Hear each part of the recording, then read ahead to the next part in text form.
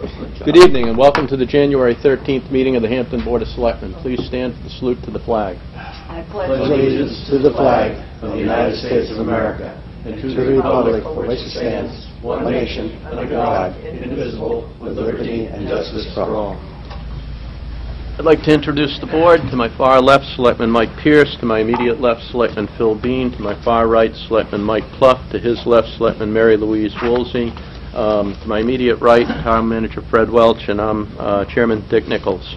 Um, Before we get into the first item in- on the agenda, I just wanted to comment that we have what appears to be a very busy agenda tonight, particularly with trying to wrap up all the issues to do with warrant articles at the end. So I would appreciate it if- if if all parties could make um, it go as succinctly as possible during the course of tonight. Um, First item on the agenda is public comment. Would somebody from the public wish to comment? Arthur?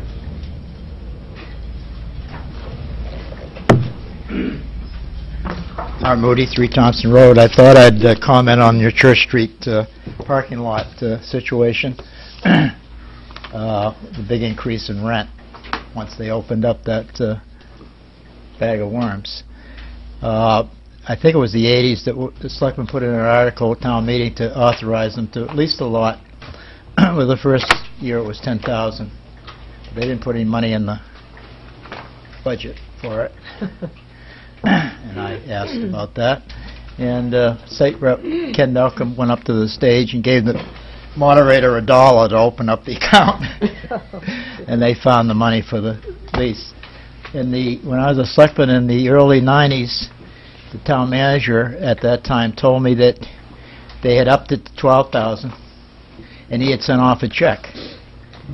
And I said, well, that's in the hands of the Board Board of Selectmen, and so he went out at 5 PM in front of the mailbox and got the check back. And the selectmen decided to offer 11,000, and that's what it became. We did a lot of things for the church. We had to have a co- cop there Saturday afternoon and all morning Sunday. The several masses that they had, the, uh, at St. Patrick Church. And, uh, made sure that the parkers got in the right area.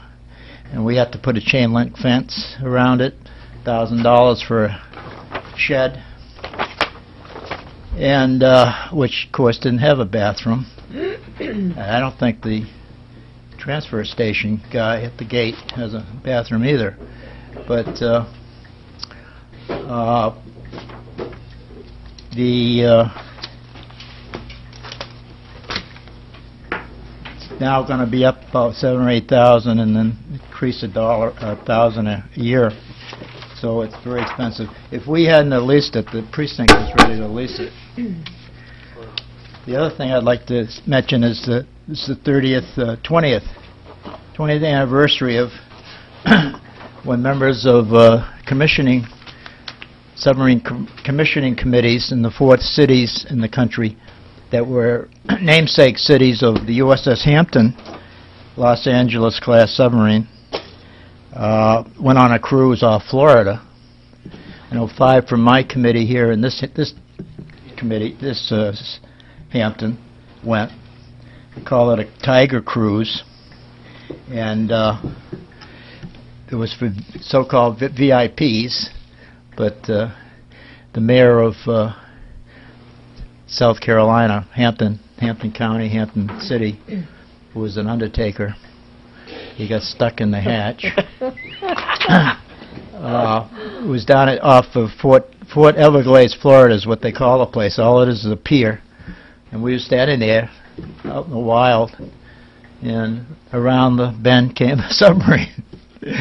uh, they allowed us to even steer the thing, a billion-dollar piece of a uh, warfare type ship, and uh, they do- they dove, and we we spent the afternoon off Florida, uh, early January 1994, a few months after it was commissioned into the Atlantic Fleet in Virginia, and now it's deployed to the Pacific, Western Pacific, in uh, as we're beefing up our navy in response to the Chicoms who have beefed up their navy in the area of Southeast Asia.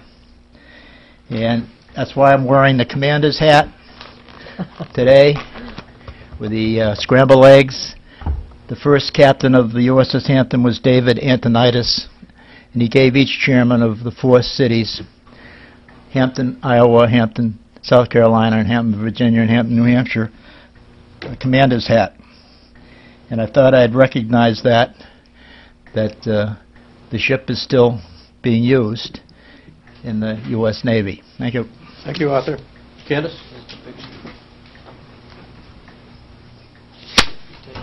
Thank you. My name is Candace Stelmack, 488 High Street. I noticed on your agenda for tonight in old business is Gristmill Dam Restoration Funding Extension. And is that your $400,000 one, or is that my tiny little one? So mine shouldn't be a, a, a re- dam thing at all. Interactive. It's for the Okay. building. It's, it- it's, it's the article for All right. um, Then I don't wanna be retaining the confused funding with over five years. $400,000 one, because you might affect my luck. Thank you. Okay, anybody else from the public? Okay, seeing none. First out in the agenda, first appointment is uh, Martha Stone, Director of Crossroads House. Uh, Martha requested an appointment for tonight um, to, she ba- basically became aware of the fact that we'd removed Crossroads House from our um, aggregate um, charity warrant article. Um, Fred and I spoke on, towards the end of the week and felt that it was reasonable to allow that appointment. So, Martha? Did you want to have community uh, announcements and so forth before you do that, or you want Thank her you, to Mike. start now? My favorite one, we'll go back to that. Martha's already up here. You sure? Yeah, Yeah, go ahead. Okay, great. Don't Thank let me forget it again. Good evening. Um, As introduced, I'm Martha Stone. I'm the Executive Director of Crossroads House. I appreciate um, having a few minutes tonight to speak with you. I know you do have a very full agenda. I serve on the school board in my town, so I appreciate how long these meetings can go, so I'll try to be succinct. Um, I brought with me tonight also um, Ken Ortman, who's the Director of Housing and Community Development for the Strafford County CAP Agency, who, um, as you'll hear what I'm going to talk about tonight, is sort of the specialist in that area. So I wanted to just um, have the opportunity to tell you a little bit about the history and what's happening and what my concern is around the funding for this year.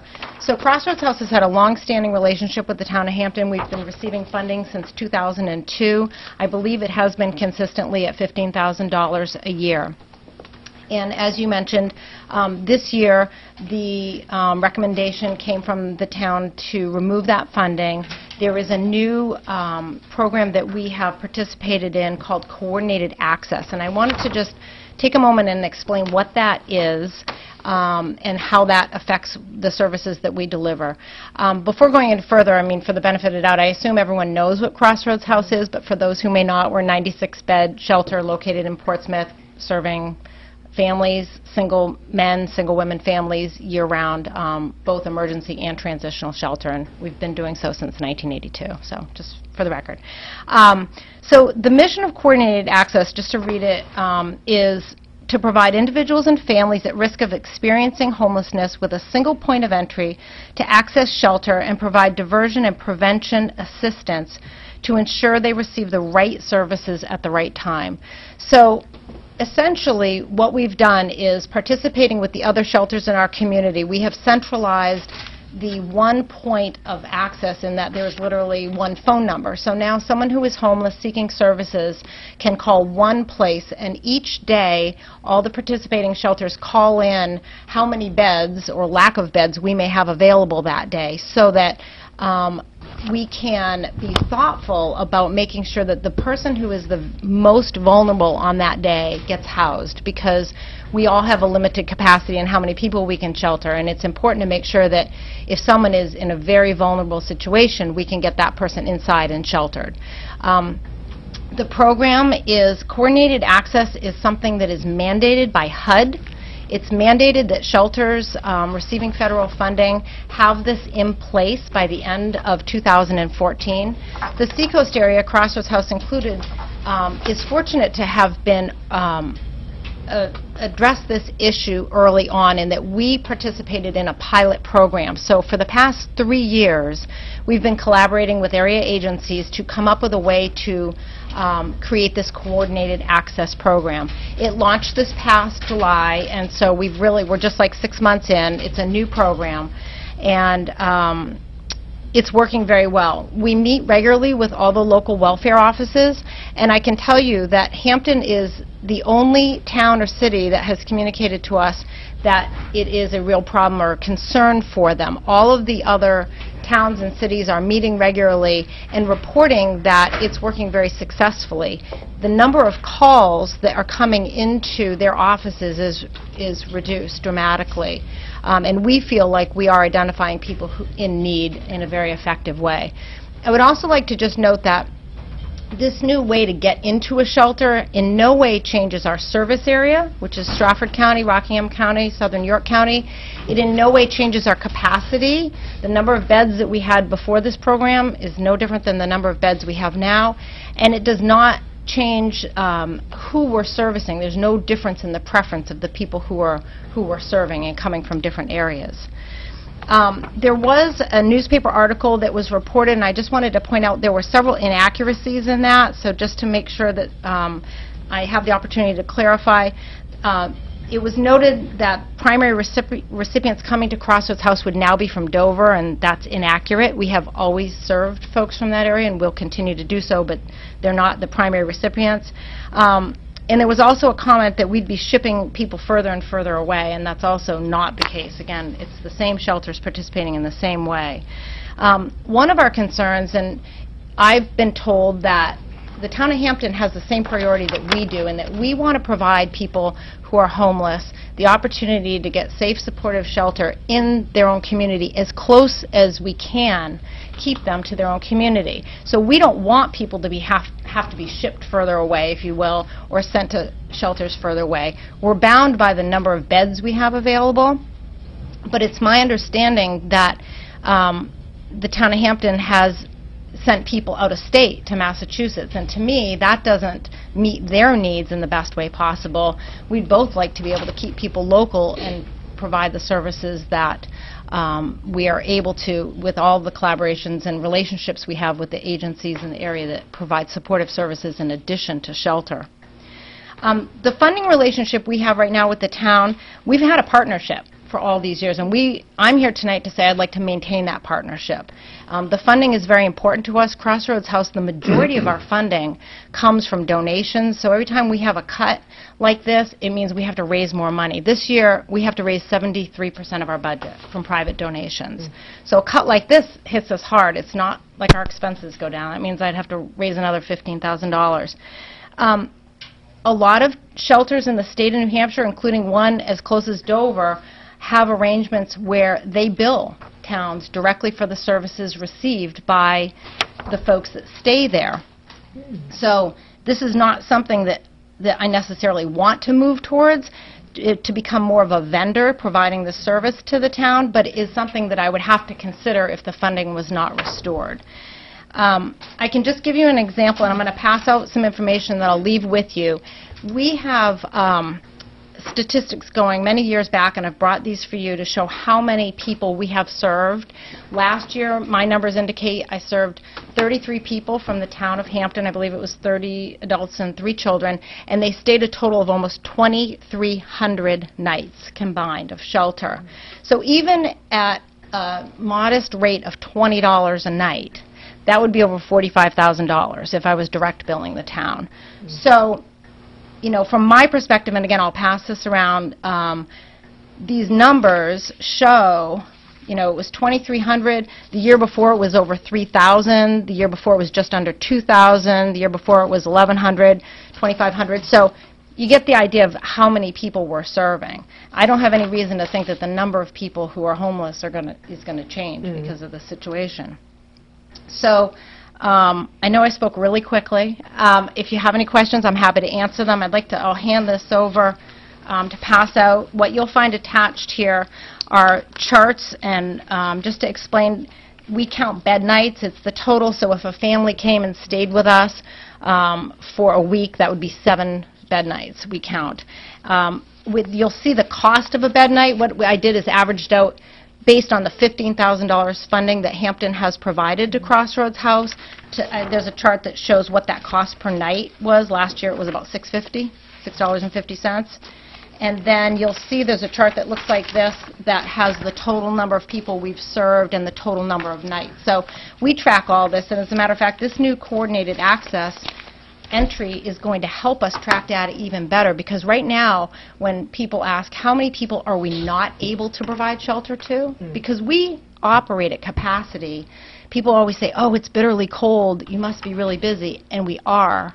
But I follow up by saying, we're as busy in August as we are in the middle of January. Homelessness, well the effects of the weather can certainly, we have to get people inside on those bitterly cold nights, we are busy year-round. So, um, so that's the information that I wanted to share. I'm happy to answer any questions you may have. And I did have one last question. I noticed on your agenda that the public hearing on the budget is, is it tomorrow night, and the snow date is the 21st? Is that accurate? It it is 21st. It isn't, so it's not tomorrow night? It it has changed, yeah. and It is the changed, 21st. okay. Yep.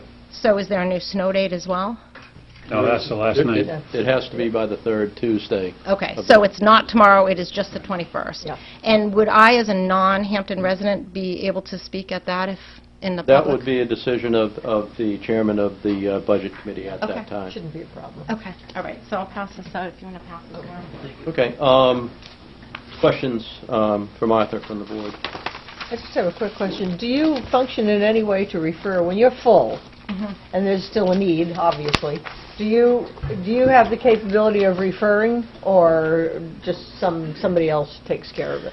Well, now with this coordinated access program, all- each day, everyone in this Seacoast community is calling one phone number to um, identify where there is space. So when, so the nice, one of the efficiencies of this is every morning, my staff calls the person answering the phone to say, tonight, we have no beds for families, we have one bed for a female single resident and one bed for a male, for example. Right. And so throughout the day, he can then evaluate who is most desperately in So need. it's fluid, It's very fluid. and you're spilling over to other facilities in the Seacoast Exactly. area? Yep. Okay. So, I mean, our goal is to keep people as close to where they're coming from as possible, but the most important thing is getting them shelter. Mm-hmm. Sometimes that means sending people to shelters out of the area. So that does happen. Okay. Yeah. Okay, any other questions? I have a comment I'll make. We have to make a decision on that tonight, mm-hmm. period. Mm-hmm. Right. So Yeah. unless you guys want to swordball this before we make that decision, I suggest you take a little break to read it. But the other thing I suggest is, in the future, if we have a problem like this, you might want to come in a little earlier, because tonight we're going to be pressed. And I like to cause trouble and delay the meetings, but I won't be able to do that tonight. So this probably won't get as much consideration as what you might find desirable. But I do have a a question in relation to the the situation. I have the impression, and I may be wrong, that our welfare lady cannot call you directly to make an arrangement directly. Is that correct? Right, and that's the big change, in my understanding, is that's one of the big concerns, is that um, up until this new time, um, the way she, your welfare officer was able to access shelter was just calling the shelter directly. Right. And that was true for people seeking shelter as well. So we do direct everyone now through this one centralized point, again, for the reasons that I mentioned. I mean, she's still welcome to call, and, and I came in and um, earlier in December, and I think it was close to two hours, your town manager was very generous with his time. Ken and I came in and we explained this concern that we had. So I did come in earlier um, to try to express my concern for this and noted that we are happy to work with your welfare officer. Um, eh, I've observed, I, I don't quite know what to say she was participating with this in the beginning. I think there were some, like any new program, there were some rocky starts and some frustrations on her part, which is fair, and we've addressed a lot of those issues. We've tried to learn from all the welfare officers. But I can tell you last week, every single welfare officer from other towns in this community are participating and really finding it to be working well, and even offered their support to say if it would help the town, and I know your time is uh, constrained, you won't have the opportunity to hear from them, but they offered to, you know, chime in just to say that it is working for them. And while it is a different way in that she cannot call directly like she used to, our our relationship as a provider of shelter has not changed. It's simply consolidating literally the front desk of who's picking up the phone to determine if there's a bed. I think one of the concerns I had also was if, let's say, Dover or Rochester or whatever had an overflow of people compared to us, and they come down, so to speak, and occupied all of your facilities, then we would be sort of left out in the cold. Sure, yeah. I, and, and we talked about that. Um, There is no difference now than the past 30 years we've been doing business in that any town at any moment could have a mm-hmm. bigger demand for services than another town. So this way to access shelter in no way changes that. That's, that's always been the case. If there was, we serve a lot of people from Strafford County. We always have. So our ability to serve Hampton, it hasn't changed. Like the same So it's going to be more or less the same, probably forecasting can be more or less the same as it was before by occupancy. Exactly. Our capacity to serve hasn't changed, the needs of the towns haven't changed. It's simply the way that we are allocating the beds on a daily basis. So while there might be a feeling that, that somehow our ability to meet the needs of the town of Hampton has changed, it's just not accurate. It's, So- Go ahead. it's really calling a different phone number. one more point. Yep. So this is HUD money? Did they give you special grants or something to set this all up? The United Way funded the, um, the process to create this coordinated access program. United Way, not HUD. Correct, but it is a HUD mandate that we implement this mm. by the end of the year. We were fortunate that we had a group of people who were willing to get in front of this, design it so it worked for us and for the communities that we serve. So mm. we, we rolled out at the state level, we're being told, you need to start to think about this, you need to have this done by the end of 2014, and we're able to say, we've done it, we're already piloting it, it's working well. So the rest of the state is now looking to us to see how is that working. Thank you. That's all the questions I have. Any other uh, questions, Mary Yeah, Louise? quick- A procedural question. Since the Board of Selectmen, in its wisdom, removed the Health and Human Services uh, function from the budget in, well, about 10 years ago, Crossroads has been in the list of Health and Human Services on the warrant article, to the best of my recollection. So this year was an aberration because we weren't comfortable with the way that we thought the change was being made. Can we, instead of getting a special money article, simply restore the Crossroads line into the Health and Human Services article? We we could certainly do that if somebody wanted to I make a would think that would be more expedient than running around fiddling with, with special articles and so Oh, I forth. don't think we're talking about fiddling. I I I think if if we do restore the funding, the way to do it would be to change that article by... Just insert that line. Correct. Um, If Okay. there are no other fu- questions, Fred, do you have any comments you'd like to make?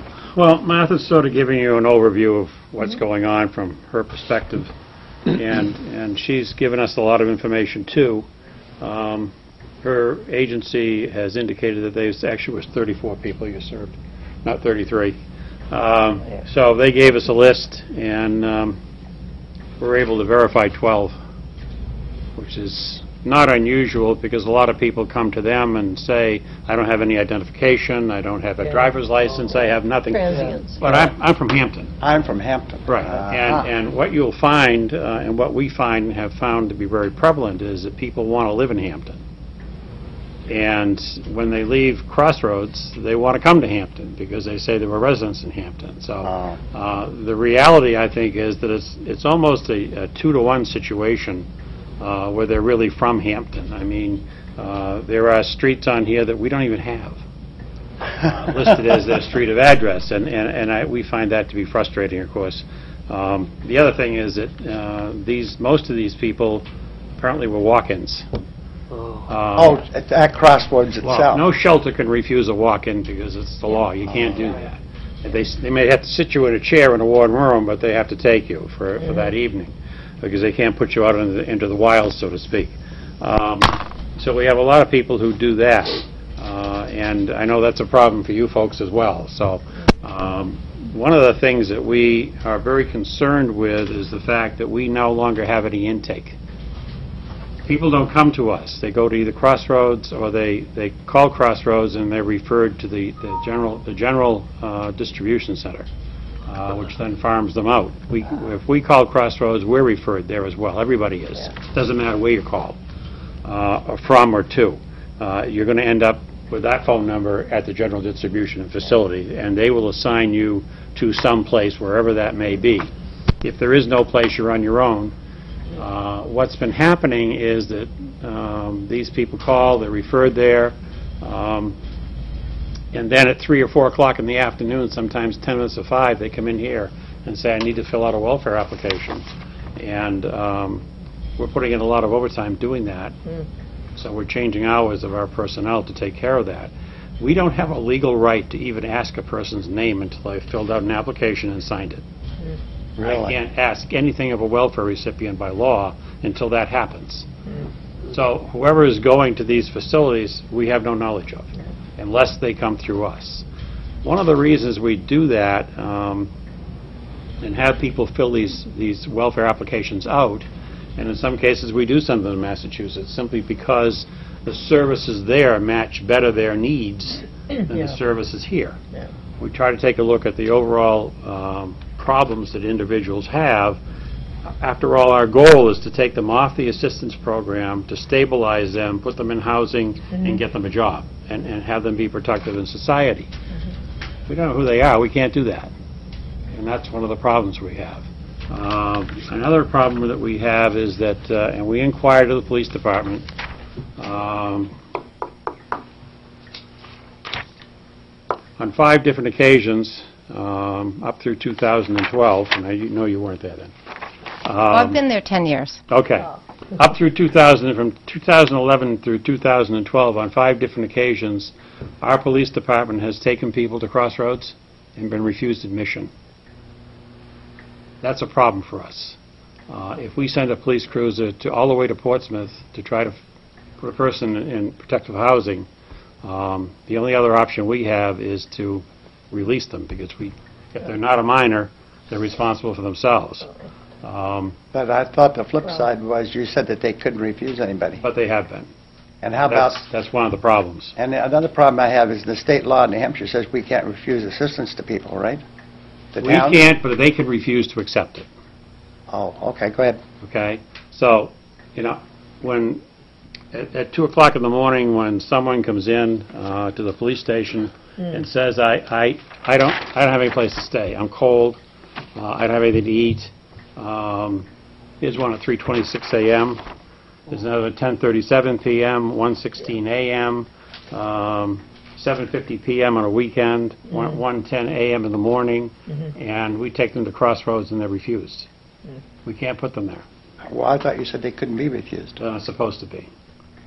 But But they in only fact, have they X are. number of beds, if the beds are Uh, filled. Well, even if you have to put them in a chair, wh- which is what we would do if we had them here, we'd have to put them in a chair and keep them warm, give them something to eat, make sure their needs are taken care of. And that's exactly what we would do as well. I can't speak to those incidences. I don't know anything about why they were brought to Crossroads House. If, I mean, there are, there's a small segment of the population that we're not allowed to sh- um, Uh, provide shelter yes. to if they have a history with us that's dangerous, if they're an arsonist, if they're a sex Yep. offender. So there's a small population, so I can't speak to the people that he's referring to. But I can tell you that we try very hard for those calls in the middle of the night, in the middle of the day, when the police from any community show up at our doorstep, and we do bring them inside, we do put them in chairs in the lobby when all our beds are full, we do put people on the floor on mattresses when there's overflow. So our capacity is, is our capacity, but I guess what I'm here tonight to tell you is, while we can't always meet the need of every person because we only have so much capacity and we do have some safety rules. Nothing about that has changed with this new coordinated access program. And I, I totally um, will will acknowledge the frustration of not knowing where people come from and validating the addresses. That is also not a new issue. It's one we acknowledge. If someone comes into our shelter and says, this is where I'm from, whether they have ID or not, it's all we have to go on. Last year, 51% of the people we served had a mental illness. Oh, We have people with physical illness, mental illness. We do the best we can for the people with the information that they give us. And once they declare where they're from, that's all we have to go on. I would like to add, too, that I can also appreciate that a welfare office wants to know who's from their town seeking service. And one of the things, the great feedback we've got from all the welfare officers participating in this program is they're saying the same thing. We want to know if you're sheltering someone from our town. Mm-hmm. So one of the things that came out of as rolling this out is we're communicating back from this coordinated access to tell the towns, you know what? John Doe just called, they're seeking shelter, we're placing them at Crossroads House. And we have always said, when people come to Crossroads House, you need to go to your welfare office, you need to fill out that paperwork, as he was mentioning. Mm-hmm. So we've always encouraged people to do that. Do people always follow through on that? Not necessarily. You've got a homeless family with three kids, no transportation and no money, getting down here where public transportation doesn't bring them to fill out a 20-page application. Doesn't always happen. We are happy to partner together to try to make this work and get the information that the town needs. Okay, Fred, did you have anything else here? Just that it's our responsibility to get that information, and we're not getting it. And that's, that's a problem for us, uh, because we are legally responsible for any resident from the town of Hampton, goes, regardless of where they go to, what assistance location they go to. We, and and I'm saying the town, uh, and the town government is legally responsible for their placement and for their care and protection. Yeah. And we're not getting that information, and that's, that's really troubling to us, so. Well, I got another, que- that leads to another question. If they decide to start building the towns for people staying there, how will we know that they're from Hampton? Then, then we wouldn't pay the bill until we could verify they were from Hampton. Oh, wow. I mean, I don't, That'd be a I can't pay a bill under the law unless it's, unless it's for a specific purpose contained within the appropriation. If it was in fact for a person at Crossroads, Yeah. and they were billing us, let's say $10 a night for a nice even figure, okay? Yeah. And uh, we were not allowed to take an application from them and have them sign that application. I can't even ask them where they live. I have no legal right to do that. In fact, I'm Okay. violating rights, so. Okay, um, That's the problem. Okay, would anybody like to make a motion? I'll move that we reinsert the Crossroads line, I don't remember the amount, I can, Fifteen I can, thousand I can fill that in. into the Health and Human Services article. So you're saying reinsert $15,000 into Article Correct. 20, 20, um, into the consolidated article for Crossroads, that would bring the total amount of that article from 140,651 to 155,651. Correct. I will second that for purpose of asking another question. Uh-oh. Go ahead. Succinctly. If we do this, and we find that during this next year that things aren't going the way we think they should, we should leave open the option of with withdrawing the funds next year. Well, you, you always have that option, Michael, but let, Right. you're not dealing with, Well, not really, not with our historical tradition. Our tradition is, the only time we change any of that is when Yes. somebody comes in and asks for mo- more money, and they have to get a warrant article right, for that. I realize There- that. And there But- isn't any record of us pulling the funds unless it was, what was the community action when they did, had a number with the fuel a few years Oh, ago? yes, yes, That was yes. about the only one that I know of. Okay. We can also apply to be a uh, non-participating community. There are several in the state that do as much as we do with a part-time, almost full-time welfare director, uh, and they're not subject to the statute at all. They're exempted. Okay, and unless um, there's any further discussion, or unless you wish to propose a formal amendment, I'd like to uh, take this to a vote. Further discussion, voting. Mary Louise? Okay. Um, Any further discussion? Are you looking to amend it? You made some comments there. Okay. All in favor of restoring the 15,000 to Crossroads? All opposed? Unanimous. Great. Thank you so much for your time. I appreciate Okay. it. You were very convincing. Coming. Well, Thank you. And I'll just give you my word that we'll do our best to work with the welfare office and get all the information that they need. Okay. Thanks. And, and this is nothing new, by the way. Chief Sullivan, I mean, I go way back with the hmm. police department, and I can remember back in the 70s when officers were carting people around to Concord in the middle of the night. I'm making How about that. Jamie? I- I'll do... Trying to find places for them. One Yeah. way the other, we'll So get it- this is not new. It's been exacerbated in recent days, but it is not a new situation. Okay. um, Announcements and community calendar. Mike? No, I have nothing, thank you. Bill? Mike? No. Mary Louise? Um, I'm still seeing growly faces from residents of neighborhoods where their waste wasn't picked up uh, after the, as an aftermath of the storm. And all I can say to you, but I, I do want to bring it up because there are, there is a limit to resources, and when you have a big storm like we had New Year's week, uh, the top priority is public safety and getting those roads plowed. And there are only X amount, uh, X number of bodies to do it, and when there's plowing through the night for 24 hours, 36 hours, 48 hours steady, you, you you just, you know, try to find a little space in your heart for not being quite so cross. Uh, Trash is trash, and it will still be there, unfortunately. And while I feel badly, and we would all like to have things work like clockwork, uh, please be understanding that we have to deal with public safety first, and there's only so much Public Works can do. Okay, I have nothing. I Second second that appointment. remark. Second appointment, Diana Martin, Director of Parks and Recreation Department, Parks and Recreation warrant article, the Eaton Light, um, light replacement. Um, Just a little bit of background on this. We have a um, warrant article um, in here. Fred, you know the number off the top of your head? Uh, 36 strikes me, but I think that may be wrong. Yeah, no, it's- I don't think it's that high. Diana, do you know the number of the uh, warrant article offhand? No, I haven't gotten it yet.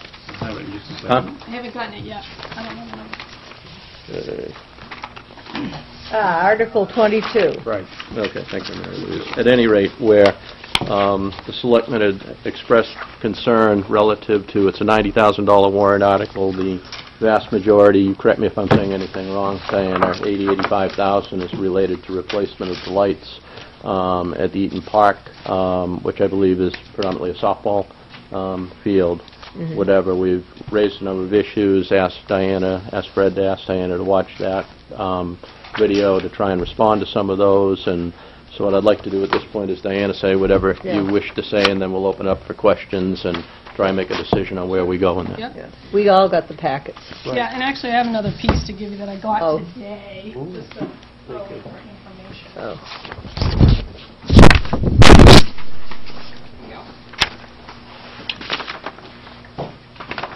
Um, The warrant article actually was to purchase three signs, one for Tuck Field, one for Eaton Park, and one for the Kids Kingdom Playground, because all three of those signs have either been vandalized or weather-worn, and they're either not standing there anymore, or they're an embarrassment to the town at this point. They don't look good. Um, The other part of the warrant article was to p- replace at least half of the lights this year and half next year through the special revenue fund, that- the 20% revenue fund. So that's what I had intended to do, is do half of the project, because the project's going to be 85,000, uh, 80 to 80,000 for the entire thing.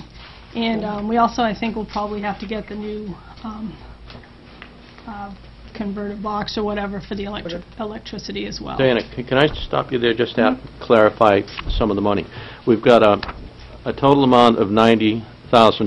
Uh, How how much of that uh, this year is lights? The sign is about, almost, is $9,500 for the sign. Okay, and how much is the fencing? There's no, I don't have a quote for fencing. What's that? I don't have a quote for fencing. I asked for a quote for fencing, I haven't received it yet. What I So was the- hoping to do for fencing, if we got it, was just the right field fence at Eaton Park. This- So that's off. And, and, so at any rate, roughly $80,000 then was for the lights. Now, you said something about half this year and No, half no, no. next So I would only pay half of that out of that warrant article. It's 80,000 to do the entire park in Mhm. lights. I was going to do half of the park. I- I'm lost. You- You've got Which would be about 90,000. 40,000. What's that? 40 or 50,000, as many lights as I could get out of that. Why does the 10,000 article say 90,000? 90,000, Nine- because that's the figure. it was 10,000 of that. originally. So you're not 10,000 asking for 90,000 this I am lower asking, that. I am asking for that. What I was asking for is 10,000 of it, of 90,000, Yeah, for for the signs. the signs. I understand that. Then if I was to get some fencing, I don't have the quote for that, but that's not a huge figure. But I was hoping to do at least half of the lights with the rest of the money. So it's going to cost 80,000 bucks for half the lights? No. Well, then why are we talking? If you're only going to do half the lights, it sounds like you're looking to spend 30 or 40,000 on fencing. Unless I'm confused, that's the way it sounds to me. Skip the light, skip the fencing part of it, because I don't have the quote. I wanted to do as much of the project as I could with whatever money was left over, and then finish the project next year. So you're looking for $10,000 for signs and $40,000 for lights. At least 40,000. forget the fence for now. I mean, if Forget we're the gonna- fence we for can't now. We'll do keep that on a different fiddling with project. this.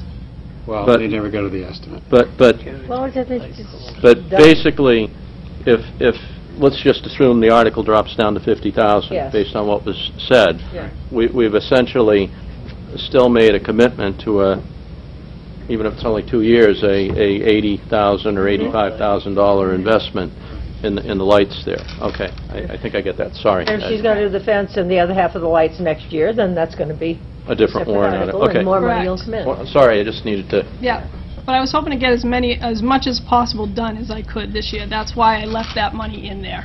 You know, if I could get three quarters of the lights done, it's gonna be a smaller figure next year. That's, that's what the difference is in the 50,000 and the 80,000. That's all. So, the signs are about 10,000. And then, um, what I wanted to tell you about the lights, why they need to be done, is that they're, they're approximately 40 years old, maybe older than that. They're a problem every year. This year, um, we started the season three weeks late, men's three weeks late because the, the lights didn't go on at all this year. Um, and we've had a couple incidences with the little warriors that were out there where the lights would just, they'd be on and then they'd be off. The lights are, you know, it's a liability to the town to have a light go off and then there's people out there in the softball field and they can't see the ball coming at them. Or the football players out there in the dark, those are kids, those children. Be out there in the So, dark. what's that? Why are they out there in the dark? Summertime, the sun sets around 9 o'clock. Why are people still out there in the dark? This is in the fall. The football players are out there in the fall. Oh, the little tiny, little kids? Yes, and the men's league are out there. They have a fall softball program. And they play till like 10 o'clock at night. And where do all these people, where do all these people come from? l- why don't you, why don't we let her finish her thing before? There's, there's about four leagues in town that are the primary users of the lights at Eaton Park. That's the Hampton Men's Softball League, the Little Warriors Football League, um, the Cal Ripken Baseball League for the kids also uses it, and the Hampton Co-Rec Softball League uses it. So we have approximately 350 softball players that use it. We have 136 Little Warriors players and 18 coaches that use it. And we have, I can't even tell you how many Cal Ripken baseball players use it. Um, both the co-rec softball and the men's league softball are ASA sanctioned leagues, and ASA has a lighting spec that they like to use for their leagues, which we are not cur- currently um, having for our leagues. So that's another thing that's a problem. Um, the lights are on for approximately 28 weeks out of the year, so it's a little more than half of the year the lights are on. Hmm. They're on four days a week for most of those weeks, and then there are f- um, five nights on the other weeks. Hmm. Their usage is approximately three hours a night during the summer months and five hours a night in the spring, fall, and winter months. So there, there's about 400 hours of use. So, so it's going to like 11 o'clock at night or whatever? Mm-hmm. Yep. Wow. I didn't realize they went that late. Yep. Um, they lost, like I said, the men's league lost about 36 games, and that doesn't sound like a lot, but it was a real problem to try and reschedule those games that they had already played for because those fields are booked solid before the next league started up.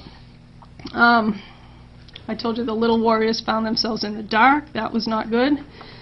And um, I feel like the light system is a benefit because it's a green system that conserves energy and money. Doesn't spill light all over the park and into the neighbors' yards. It expands the lamp life and it takes away the issues of liability due to random light loss during gameplay. And I also, what I just gave you, it's a it's a, a lease-to-own purchase program that, that can get the project completed with smaller payments for a longer term.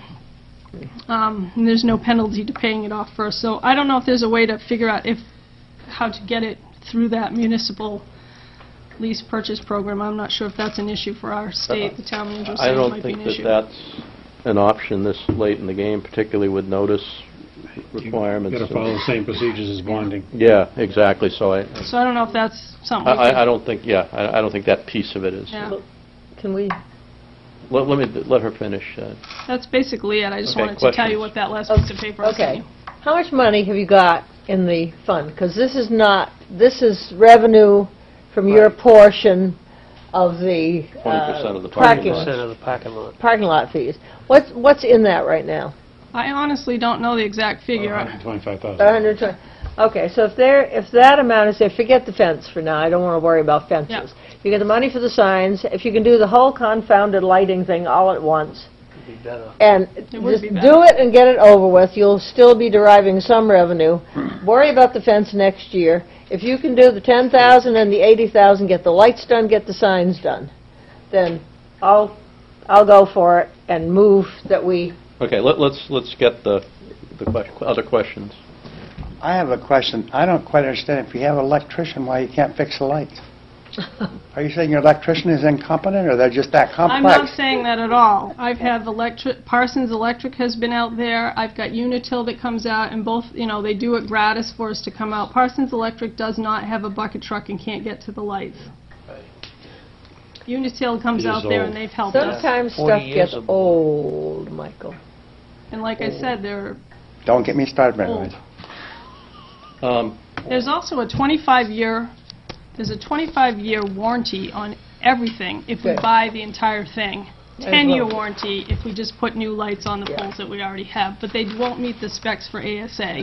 Now, did we go out and get other companies to give us prices on this? I don't see any three bids This is approach the at all. We're not making a commitment to a company, we're using it as an estimate, and if approved, then we Money. would go down that road. Well, Mike. the thing of it is, my problem with that is, uh, Mr. Chairman, is this seems kind of pricey to me because it sounds like a lot of those could be repaired. If they could get somebody who could repair them, I don't know why that'd be a big problem. If you paid somebody a decent pa- salary or a, a- a a fee to repair them, there'd be a guarantee with that. Therefore, it should be working.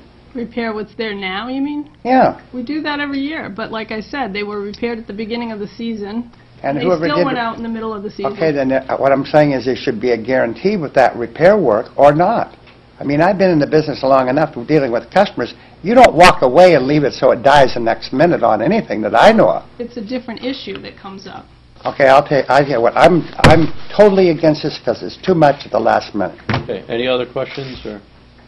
I I have a couple, Diana, and it's Okay. kind of on the track that um, Mike is on or whatever.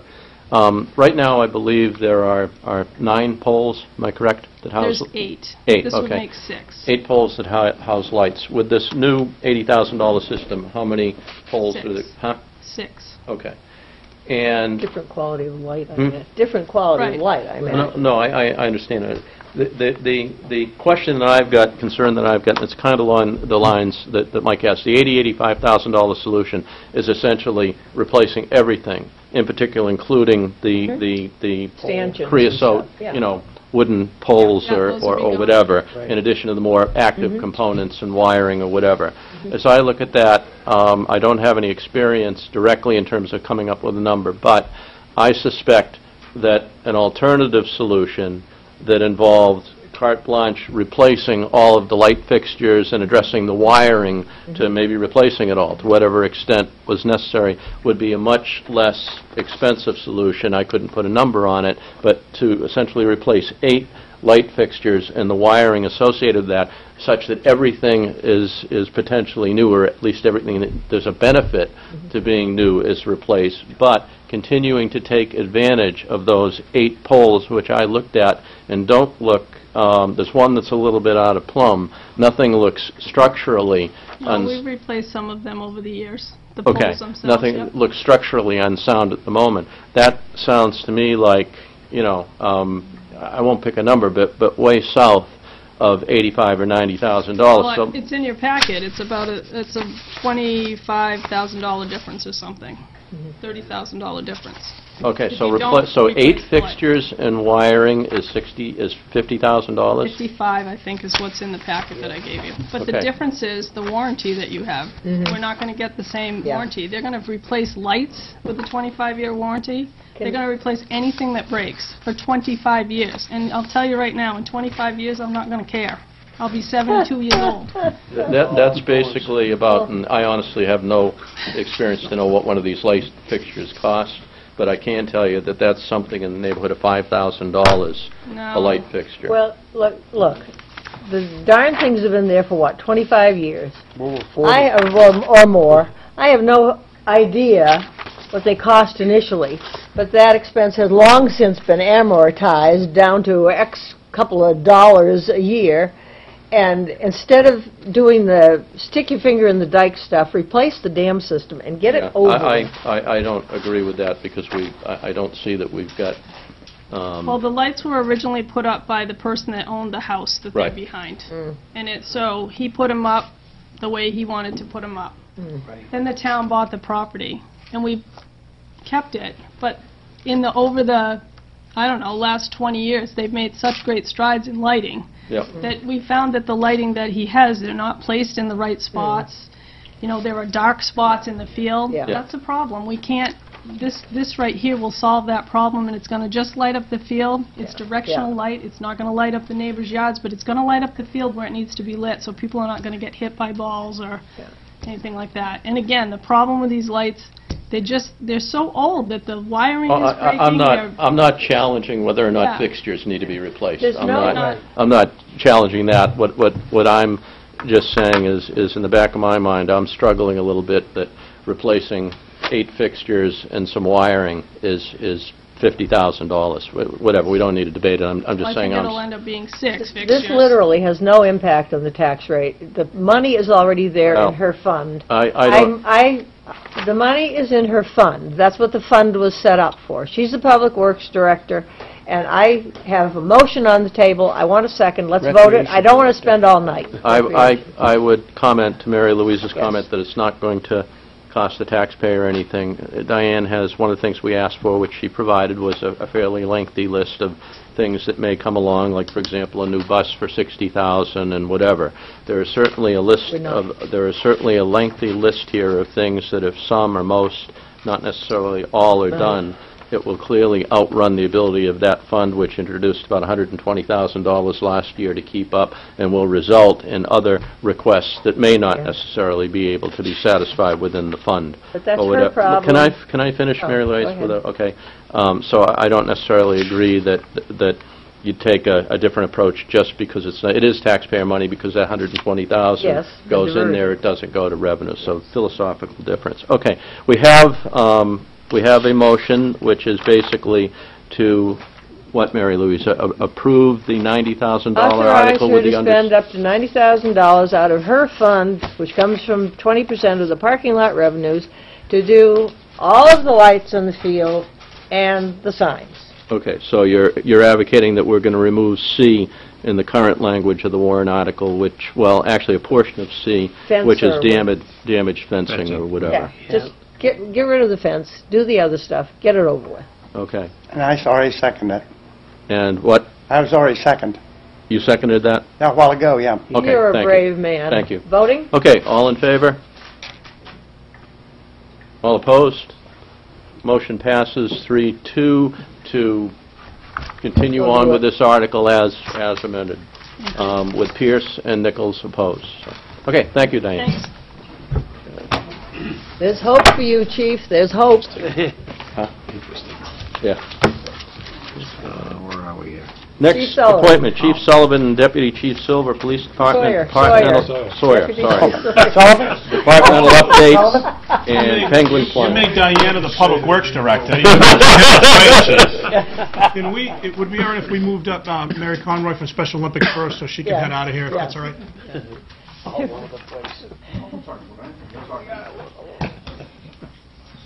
So, good evening. Uh, This is Mary Conroy. She's the president of Special Olympics New Hampshire, here to talk about the Penguin Yes. Plunge. Good. Take it away, Mary. If you can believe, we are coming to Hampton for the 15th annual Penguin Plunge. Isn't that amazing? There have been so many great things that have happened to our organization as a result of hosting the Penguin Plunge um, that I would like to say thank you for. We continue to strive to serve people with intellectual disabilities, providing sports training and athletic competition. What we've learned over time is to be a good athlete, you need a lot of other things going on in your life. So we have spent um, time working on the health of our athletes. We have spent time working on the training of our athletes. And we um, have worked on providing quality sporting events for our athletes. 15 years ago, our athletes didn't own alpine equipment. They weren't training at mountains. They weren't wearing basketball uniforms. They weren't having the opportunity to travel uh, as a team. Those things have changed through the Penguin Plunge. Um, Six years ago, we introduced a concept of the high school plunge. Last year, we had half of the high schools in the state of New Hampshire participating. Isn't that amazing? Uh, Additionally, through the high school plunge and through our relationship with the New Hampshire Interscholastic Athletic Association, over one-third of the high schools are currently participating in unified basketball. A unified basketball team allows people with and without intellectual disabilities the opportunity to play on a team representing their high school to play for a championship. I will tell you, without the Penguin Plunge, none of this would have happened. So we are invading Hampton uh, the weekend of February 1st and 2nd. Um, I will tell you, um, the energy around the plunge, around the state is amazing. I'll tell you another fun fact. So I just saw at the end of the year uh, the 603 best things that happen in the state of New Hampshire. And the plunge was in the top 100. So that was kind of exciting, I thought, as well. Um, But I think Rich will talk to you about what we, what we would ask you guys to support or how we're going to Uh, Dual role as deputy chief, but I'm also the director of the plunge for how many years now? A lot. A lot of years. A lot. Um, If you've never attended the event, the uh, normal way we restructure traffic is we shut down, we'd like to shut down Ocean Boulevard from H Street north to D Street, and we reroute the traffic down to the backside of Ashworth Ave, and we run two-way traffic on Ashworth Ave. That's primarily the support we're looking for from the board and and approval to uh, reroute the traffic. Um, the same time that we're going to shut down Ocean Boulevard, which is a state DOT permit, which we're filing. Uh, We would do that from 9 o'clock in the morning, and we'd ask for that uh, to be permitted out to 4 o'clock in the afternoon, both Saturday, February 1st, and Sunday, uh, February 2nd.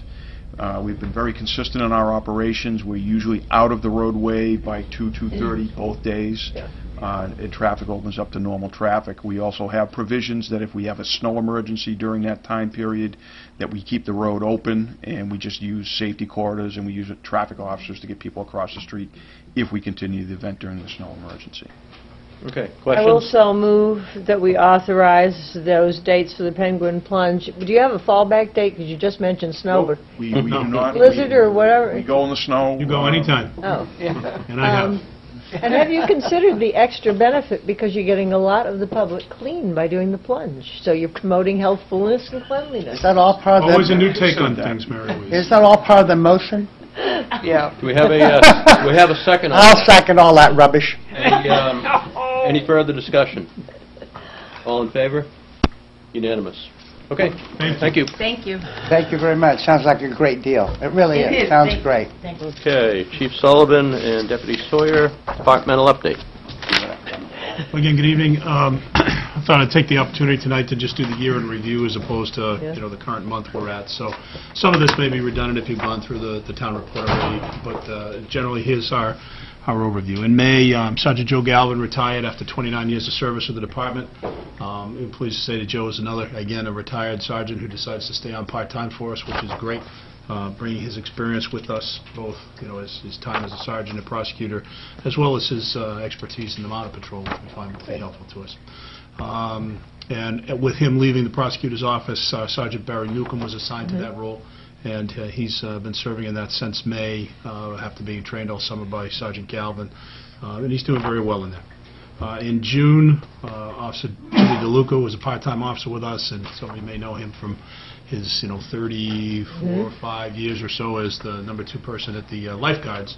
Retired as a teacher, came on with us part-time, and uh, was hired as the newest full-time officer. Uh, Jim recently completed the academy, um, doing exceptionally well. Uh, Was chosen by both the staff and by his fellow cadets as the, uh, you know, essentially as the honor person of both, and and gave a uh, very um, eloquent and impassioned class expression. Uh, There's always one person selected from each class to, to give the class's expression to the, you know, hundreds of people that come to attend. Um, And Jim, I- I'll say, in all the years I've been going, it was the best speech I ever heard. Not that I'm partial to Hampton alone, but, I mean, he's an incredible speaker. His- He was uh, uh, very articulate, and he did a tremendous job. We're very proud of him. Uh, And in November, uh, Officer Scott Bates, who also served several years as our street corporal, Scotty was promoted to sergeant, uh, is in that role doing a tremendous job for us. Um, Our part-time uh, ranks continues to ebb and flow. Um, We had 11 uh, part-time officers were hired during 2013, bringing the working specials that summer to 35.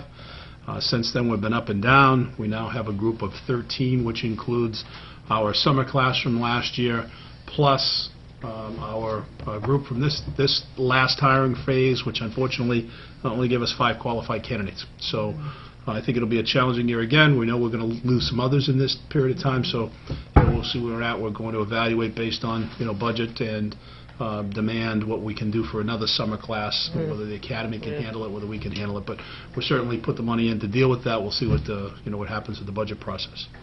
Um, And again, we'll see 2014, we'll see, uh, not terribly confident we're going to crest over into positive numbers this time around, but we'll see what happens.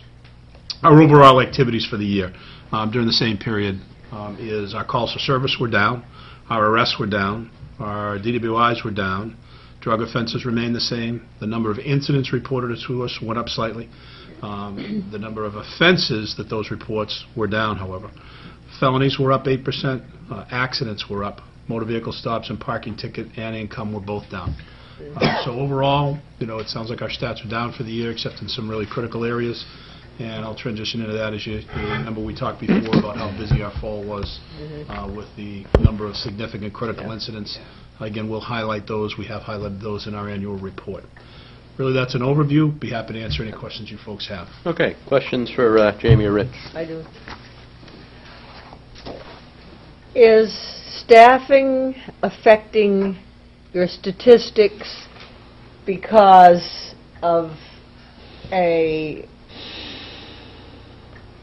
a problem with an overall response? I I understand you're knocking yourselves out Yeah. to respond to incidents that So- are reported, but what is staffing playing? Yeah, I think that clearly the lower numbers will have an impact on those officer-generated activities. Um, Those really are more of the things when we'll get feedback on quality of life concerns. So we're, we're keeping up with, although we're pressing, our calls for service, our needs, right? But yes, those extra things definitely go down a little. Take, for example, you, you made a request to me about putting somebody out into the, you know, the fields to kind of check and see who's out on the, you know, the, the, the uh, areas out, uh, recreation areas. We we just don't have the staff to do that right now. So there'll be a somewhat down on that area. I think the other thing that we can never get around is the weather. Yeah. Um, If you go back historically to the summer of 2012, Yeah. 2012 was one of the best summers that we've had in Hampton Beach in many years. The- The the sun ratio was incredible. Whereas when we came to 2013, as you remember, June was pretty wet and cold, and it really didn't clear up until after the 4th of July. You know, we had an exceptional August and going into the fall, but that's going to affect the overall numbers because the crowds were down in those time periods.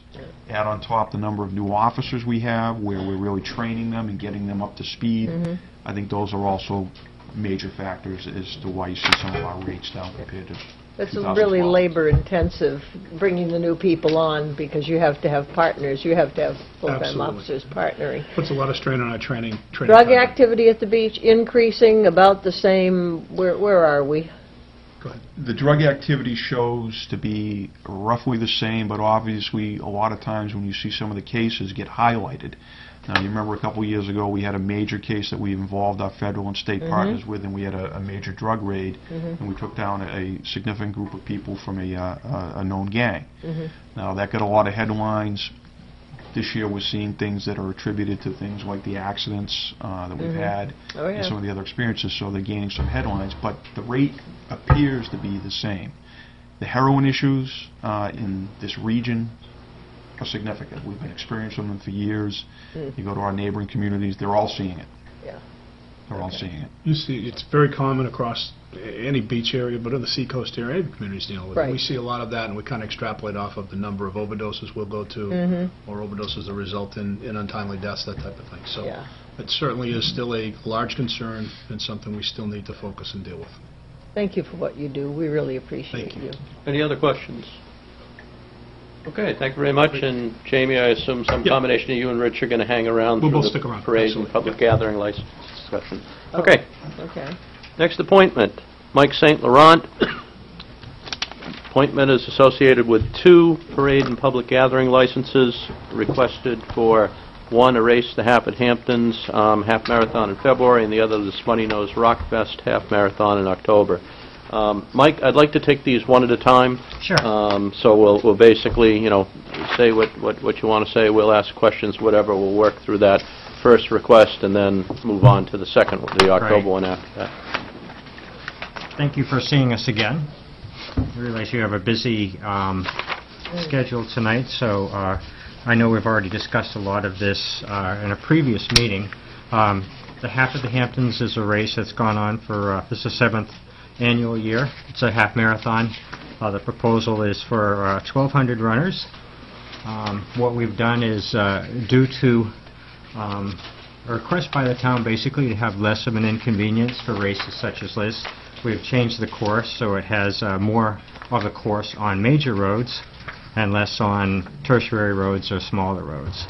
Um, Basically, the course starts and goes around Ocean Boulevard to Ashworth and does a little loop around there and heads all the way out to High Street, up to Mace and Mill and Barber, through Woodland, Great Gate, Juniper, and Huckleberry, and then back again. Um, There are no closed roads. Um, We anticipate that, um, except for the very beginning of the race, people that need to drive on the roads will not have any issues. Um, Since this- is a race in its seventh year, we actually cut down the number of runners we have. We've had up upwards of 1,400 runners and not had any complaints for this particular race. Um, The nice thing about this race is it it does bring some business to the beach community, and we also fill up uh, four pantries with all the food that they need um, at a critical time of the year where they don't get a lot of food in the February. February. Um, Any other questions, any questions I Um, can address? Jamie, would you like to make any sort of comment? Sure, I think, uh, from our point of view, uh, just in a general overview with both of the races before you today, we'll say that um, we feel pretty comfortable that we can provide public safety for these. I've seen the route changes. Um, This one, uh, there is, I'm a little concerned with how it cuts through Fellows Ave and that, that smaller area down there, but it's certainly something we can manage. I've talked to Mike about that with the concerns of Harbor Road as a private road. They've addressed that, as I understand it, with the owners of that section. So it's certainly something we can do. The reason that we put them before you, as you recall, one of the last times I was in here and these were the discussions, is balancing the community's need for, you know, the inconvenience of the races versus, you know, doing them. I- I'll assure you, we can, you know, I'll I'll speak up if we have any concerns to deal with them public safety-wise. I don't have those with these. Certainly, we'll refine our plans that we've already done. This organization is outstanding in their planning. They do a very good job working with our folks. Uh, Mike and his crew are very good with that. So I don't have any concerns with planning it for safety. The issue really is for you folks, the balance of, is this race too much of an inconvenience on the community and the feedback you received? So we left that up to you folks, and then we can, but but I can assure you, we'll be able to plan with them, uh, we feel safely. I may quibble about whether a road's closed or not, or the impact on it a little bit, but I still think that this race will be fine uh, and safe from our point of view, as long as you're good with the the community impact portion. Okay, any questions for Jamie or Mike? I'll just make a comment, and then I'll ask a question. I think that we ought to change this map so it goes right in front of Mary Louise's house. And have it for the duration of Right the up race. the driveway, too, through the backyard. Any other questions? or Now, whatever? the only other comment I have, I think you come up and worked real hard to make it work, and I think it's a wonderful idea. And if, I think most people don't mind being inconvenienced for a period of time as long as they know roughly when it's going to begin and end in advance. And I think that's one thing we have to really be concerned about, along with the safety aspect that the chief will take care of. Right. I I have a real quick question. What What about snow? I mean, if we have a blizzard like we had right after New Year's, and we're trying to clear the roads and plow, what happens? Right. We rely totally on the, the police to tell us if it's not going to be a safe day. And we actually put in the application that uh, perhaps if there's a storm coming, to do the race on a Saturday instead, or to do it the next weekend. So it really is, uh, if it's, e- even if it's two or three inches of snow and slippery out there, I'm just as concerned about the runners as I Mhm. am as Mhm. the police that have to stand in the street with Yeah. cars going by that are skidding. So, um, Yeah, no, it's, our concern is absolutely the runners, and, and we've communicated, as I recall in the past, with, you know, as a storm is impend, coming in, we're looking at it, and we make the call saying, you know, we're concerned. I think that happened to us once before, as I recall. Yeah, we canceled last Yeah, year. yeah, And we didn't yeah. have a makeup date, so it Yeah. was over. So the, the concern I often have is, is some of those February races, we have snowbanks that are, you know, Yeah. extremely high. We haven't had that in a little bit, but that's always a concern of the February race for me. Uh, So, uh, again, the communication's open with them, their website is, is good, so when we make the call, they notify the runners and everybody, So everybody I don't does. want Public Works trying to plow with a whole bunch of runners. No, we, we wouldn't do that. We would notify them that it's unsafe and would Okay. shut it down. Okay, would somebody like to make a motion? Um, I make a motion to approve their, both their plans. I think they're both We're wonderful. doing one right Okay, now. so we're doing one at a time. Okay, I'll, I'll make a So the motion to motion approve is the to first plan. approve, the motion, Mike, is to then approve the parade and public gathering license Yeah. for the um, February 23rd, 2014 road race known as the um, Happy Hamptons Half Marathon. Have We a have a hand. second for that. Seconded by Mike Plouffe. Any further discussion? All in favor? I'm going to abstain, I'm, I'm... All I'm opposed? more meaning- Abstain? I'm going to... Mary Louise, you abstain? Yes, sir. Motion passes 401 with Mary Louise Woolsey, Selectman Woolsey abstaining. Okay, let's move on to the Smutty Nose Rock Fest Half Marathon, Mike. Okay, the the Smuttynose Rockfest, for this year, we're proposing a half marathon. In previous years, it's been a half marathon and a full marathon. The date is October 5th. Um, Start time is 8 o'clock in the morning. Uh, With only having a half marathon, the end of the race is actually at 11:30, whereas in the past, it's been as late as 2 o'clock, 2:30. Uh, The runners, last year we had 5,000 runners. We're asking for an application of 5,500 runners. It it does not affect the road closure times, which I'll go into. The distance of a half marathon is 13.1 miles. Uh, The objective this year was to have a a quality race um, that has a much significant lower impact on the town. Um, With that in mind, uh, last year in 2013, there were 16 miles in the course for the half and the full. This year, it's 10 miles total, a reduction of 38%. Time period, I went over six and a half hours down to about three and a quarter hours. Uh, The town area that really was affected, about 33% of the town's area was affected. It was mostly because we had the roads of High Street and Winnacunnet kind of handicapped that whole time, time, um, which created, I thought, a lot of the issues.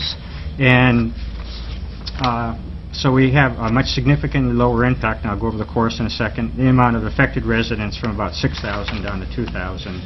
Um, Basically, the neighborhood miles was the largest thing we tried to improve upon. We went from 13 neighborhood miles down to three neighborhood miles. Um, You know, significant reduction on that. So the course itself starts uh, down at the beach right in front of the casino, does a loop around the Ashworth and Ocean Boulevard, goes out, uh, goes to, there we go, goes up to uh, High Street, cuts off uh, over on Little River Road to Woodland, and then we're basically out of your hair by about mile six, I which we head love that. into uh, Did I s- North Hampton. Once we're in North Hampton, we cut over to Atlantic Ave, and we come back on the left-hand side, on the ocean side, all the way back to the uh, finish, which is uh, right by C Street. Um, The the closed roads, um, the goal of the race is to provide a- the least amount of inconvenience, and so, you know, what we do is we send a postcard out that goes out to 5,000 residents from everybody east of Route 1, and um, basically, we also do the message boards, which we thank you, we're happy to to pay, defray the cost of those to the town. We put it on your town website, we put it on the TV, and we also do the signs one week before identifying the time that we'll be coming through the neighborhoods. Um, The key thing in this year, you know, we're we're really going to work very hard to make it so that you have the the least amount of issues that we had last year by doing all these things together. Okay, questions? One, one question. I noticed that this one goes into the um, North Hampton on Atlantic Ave. You coordinated with those folks? Okay. That's all I have. Um, I have a couple, if nobody else has any. Um, It appeared to me, Mike, that all of the reduction in inconvenience, looks like the half-marathon route is identical to last year, and that all of the reduction in inconvenience is a function of the fact that there isn't a full marathon. Is that accurate? No. Okay. We used to cut up Winnacunnet and go through Presidential and Alexander. Mm-hmm. Right. And so what happens is once you've got one group going up, the faster group and the slower group hasn't caught up and we come back again, it mm-hmm. ties the people up between those two areas. Um, I believe now, once we go all the way up to High Street, really, there's just going to be the people on the right-hand side of the High Street that will be most inconvenienced, and Little River and Woodland. Um, Um, So, you know, there's a whole area between Winnacunnet and High Street that was inconvenient. So people are, people were stuck, basically, between those two areas. Now, actually, as we go up on High Street, we believe we're going to be able to control our runners enough to keep them in the right-hand lane, and if someone needs to get out on the um, south side of High Street with a race marshal or an officer to help, we should be able to get them to get out to go slowly. Um, So I think it's a significant difference. What, what, what I- where I'm just still a little confused is I was going by the maps, okay? Yeah. And there are two maps whi- which have both, you know, I had- the map as well as a listing of the streets and whatever. Yeah. One says 2014 affected areas, the other says 2013 affected areas, and I can't see a difference between either the map or the listing of streets. And you have all the little side streets in there. Yeah, I have a copy of that. I'm not sure if you have that. Uh, basically, the, the course last year went up to, went up Winnacunnet and cut over Presidential to Alexander, and then cut across, uh, we went up a little road of the Taylor Taylor to Little River, Yes. Okay. and then down Woodland, Yep. and then the same way out. So everybody in between High Street and Winnacunnet had an issue. Okay. There- There's a lot of Let me, people. uh, I don't want to that beat this area. to death, but I would. The It draw- doesn't show drawing the isn't side correct. streets, Richard. The side streets, yeah. Yeah, ours is, We had in a packet 2014 affected areas. Yeah. And then we've got this map and this list. Yeah. And then we have 2013, it's the same map. and it it doesn't say when it Oh, it comes. doesn't, Yeah, It's almost oh, like I'm somebody... sorry. Some, Yeah. yeah, somebody copied the wrong one. Okay. Yeah, Okay. that's what it So- so in fact, That could be then- confusing, I'm sorry. Okay. Yeah, I So in provided fact, another, the, another um, page, and it was... The course race They look has similar. changed and improved it then. They look, they they look identical. yeah, they Yeah, did. they, they, they- Yeah, it looks sorry. like somebody had the wrong map. They Okay. copied the wrong file, and that That's could what, be... that's what he gets paid for, to find that stuff. Do I get a bonus? Okay. Uh, Any Right. further uh, Yes, I have a quick one. questions? Um, Little River. Just the part you're abstaining on? Yeah, in the middle of the road. Yeah, yeah, yeah. Uh, That says 8:30 tonight. I I can, I can dig the starting time, I get that. Right. So I'm not gonna get excited about 8:30. But 8:30 to 9:50 a.m., I don't believe it, to be perfectly frank with you. And you're gonna still have people running up there, although thank God they're not gonna be weaving in and out of Taylor Street and going crossways and whatever. So, um, I don't know. I'd rather see, I'd rather see, and it's your thing, I'd rather see you do the start time, which you can approximate in neighborhoods, and then say to 11:30 or to 12 noon or something, because you're probably going to have people So running. your- He your usually request judges simply- that, I think, based on how fast he runs versus me. So it definitely will impact the difference based on some of the skill level of your runners. It's just the way it is. Yeah. And they, you know, it's hard for them So to let's be realistic. I mean, they're not all going to Be be... realistic. When by you my approve it, it's end, gonna have an Little impact River during the Road race. By Great. 8, whatever the heck, 9:50 or something. What I'm hearing is That- is that's Mary the- Louise... that's the You'll busy start time. seeing them in your neighborhood at 8:30. They will, That's- you're correct, they will not all be Right. through. However, when we do other races... I don't want to run over any of them. When, dude, I don't want you to run over anyone either. I'm I want you to go on through that. We know that. Um, ho- However, once you get to the end of the race, it's it's entirely possible to get out of your driveway by just waiting until there's Yeah, enough I- people that I have know gone by. that. But And- some- and- Sometimes and- I don't like to wait at the end of my driveway, but what I'm saying is that if you've got all these people, and it's a lot of people, and now you're talking 5,500 people again. You know, and so be realistic. If you're going to send me a postcard, and, and I'm going to read it, Are you you know, gonna- are expect you gonna somebody be- in your are you neighborhood gonna at be away? 8:30 Is that why you need a until the postcard? race ends. Right. I I think what I'm hearing is Mary Louise Yeah. requesting that air on the side of Yeah. it taking a little longer. Absolutely. um, You know, as opposed That's to a great suggestion. Whatever. Um, Yeah, 8:30 to 10:30 or 11 Okay, would o'clock anybody on um, 'Cause I like take to make you a at motion? your word. I'll make the motion. Yeah, right. And the motion is to approve the parade and public gathering license for the Smuttynose Rock Fest Half Marathon on October 5th, 2014. That's correct. I will Thank you. second that motion. Any further discussion? All in favor? We're going to abstain. Opposed? I'm still being won over. Motion passes 401 with Selectman Woolsey Aye. abstaining. Um, Mike, One other issue, I think I saw it somewhere in your verbiage. Um, Did you want to um, comment in terms of of any update that you're, might be planning for the marathon in the future? Correct. Correct. Um, I'd, I'd love to update you on that. Basically, what we're trying to do is to create a marathon that has the least impact on the town and has a lot more of the roads in your neighboring towns. And we've come up with a plan for that. And we're actually working first with Rye and then North Hampton to see what they think about it. But the goal will be to have the race, uh, I'll give you the, the very briefest of details, about 800 people, starts at 7 o'clock in the morning, and we're out of town by uh, about 8:10 in the morning. Um, No road, no, no road closures, um, and basically, it'll feel like a small 5K race, all major roads. No, And no... do- Do you have small- a, obviously, you've got to work through three towns. We have to then work in through three terms of- towns. Do you have any sort of rough time frame in mind i- in terms of when this might take place? Uh, The race itself would be October 26th. Okay, so you're you're looking, you're We have- we have targeting a this time year for it. then? We would probably be coming back to you the end of February Okay. to to talk about it and do it. I I I think you'll find it the easiest one to look at. Okay. That can be a full marathon. A full marathon, right. Right, working, the business community is very, very interested in working with us on that. Oh, great. We believe we can fill up every hotel and restaurant, even with the 800-person race in a marathon in that time of the year, and do a great weekend for the Beach District, and and the whole- actually for the town. Okay, well, my only comment is I thank you very much for your responsiveness on, to some of the concerns that have been expressed Thank for the you. inconvenience, so. Thank Thank you. you. Okay. Thank you very much. Maybe getting me excited helped a little bit. Okay, with the board's um, consent, I would like to, one of the warrant articles which we need to discuss has to do with the High Street culvert. Uh, Deputy, uh, the DPW Director is Yes. here. I'd like to slide that forward in the interest of Keith getting out of here sooner rather than later.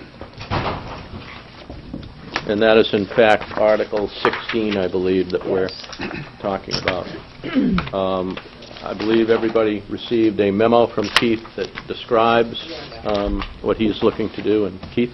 Sure, and I did uh, send a follow-up uh, email to you this afternoon with some updated information. Um, So basically, you've authorized me to submit a federal grant application for $430,000 to help subsidize the cost to decommission the old Mill Pond Dam and replace the High Street culvert. The total estimated uh, project cost to this work is $575,000 with a town share of $145,000. Basically, um, I had a meeting with some state officials that indicated that if we were to increase the scope of work for the project, um, with the idea of uh, doing a uh, drainage study of the Meadow Pond area, that that would increase the likelihood of us getting this grant. And they're willing to, um, and they've actually already provided me with documentation and paperwork that indicated that they would account for $22,132 of in-kind services as the town's 25% ch- uh, share. And they're estimating the cost of this work to be about $60,000. We're still working on a scope of work for the project to detail exactly what it would be, but it's being, would look at, um, whereas Meadow Pond has a lot of issues with Phragmite control and so forth, of looking at that, probably involving some um, high school kids as volunteers to help with this project. And uh, I just think it's a win-win situation, particularly if it increases the chances of us getting this, um, a grant, which they feel it will greatly. There's, uh, they're estimating right now there's going to be 500 applications for this grant. And they do feel, looking at the scope of work, that this is a, um, a good, a good project, not just the study, but also the culvert work and the dam itself. So what I'm requesting is that the board authorizes me to increase the grant amount to $475,000, which equates to a total project cost of $635,000, with a town share of $137,868, and a state of New Hampshire contribution of in-kind services equating to $22,132. And if the board is agreeable to that, I would like to um, schedule a public hearing to authorize us to um, submit the grant on uh, January 27th. The grant is due, uh, we need to apply on January 31st, and uh, the state has been great with working with me to put this grant together, and they're providing a lot of assistance, uh, Fish and Game, um, the Dam Bureau, uh, the Coastal Management Zone people. So they're very excited about this uh, project and uh, are just being great with assisting me to put the, pull us all together.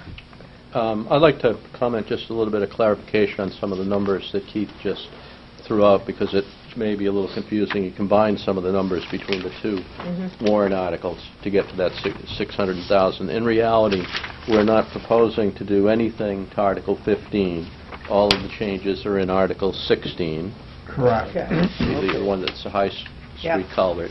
Second of all, the increase in the, in Article 16, you correct me if I'm wrong on any of this, is from 175,000 to 235,000, none of which will add um, to the tax impact of that warrant article. The tax impact will still be 87,500, simply because we're anticipating a 75% grant, and the state of New Hampshire has agreed um, to essentially cover the costs through in-kind services um, of our 25% match. So ultimately, everything that he has just said, it's all in Article 16, and there is no um, tax impact in terms of what's being proposed. Actually, I think it's decreasing the tax impact slightly, ever so Because of the slightly, but if 22,000. anything, yeah, right. Right.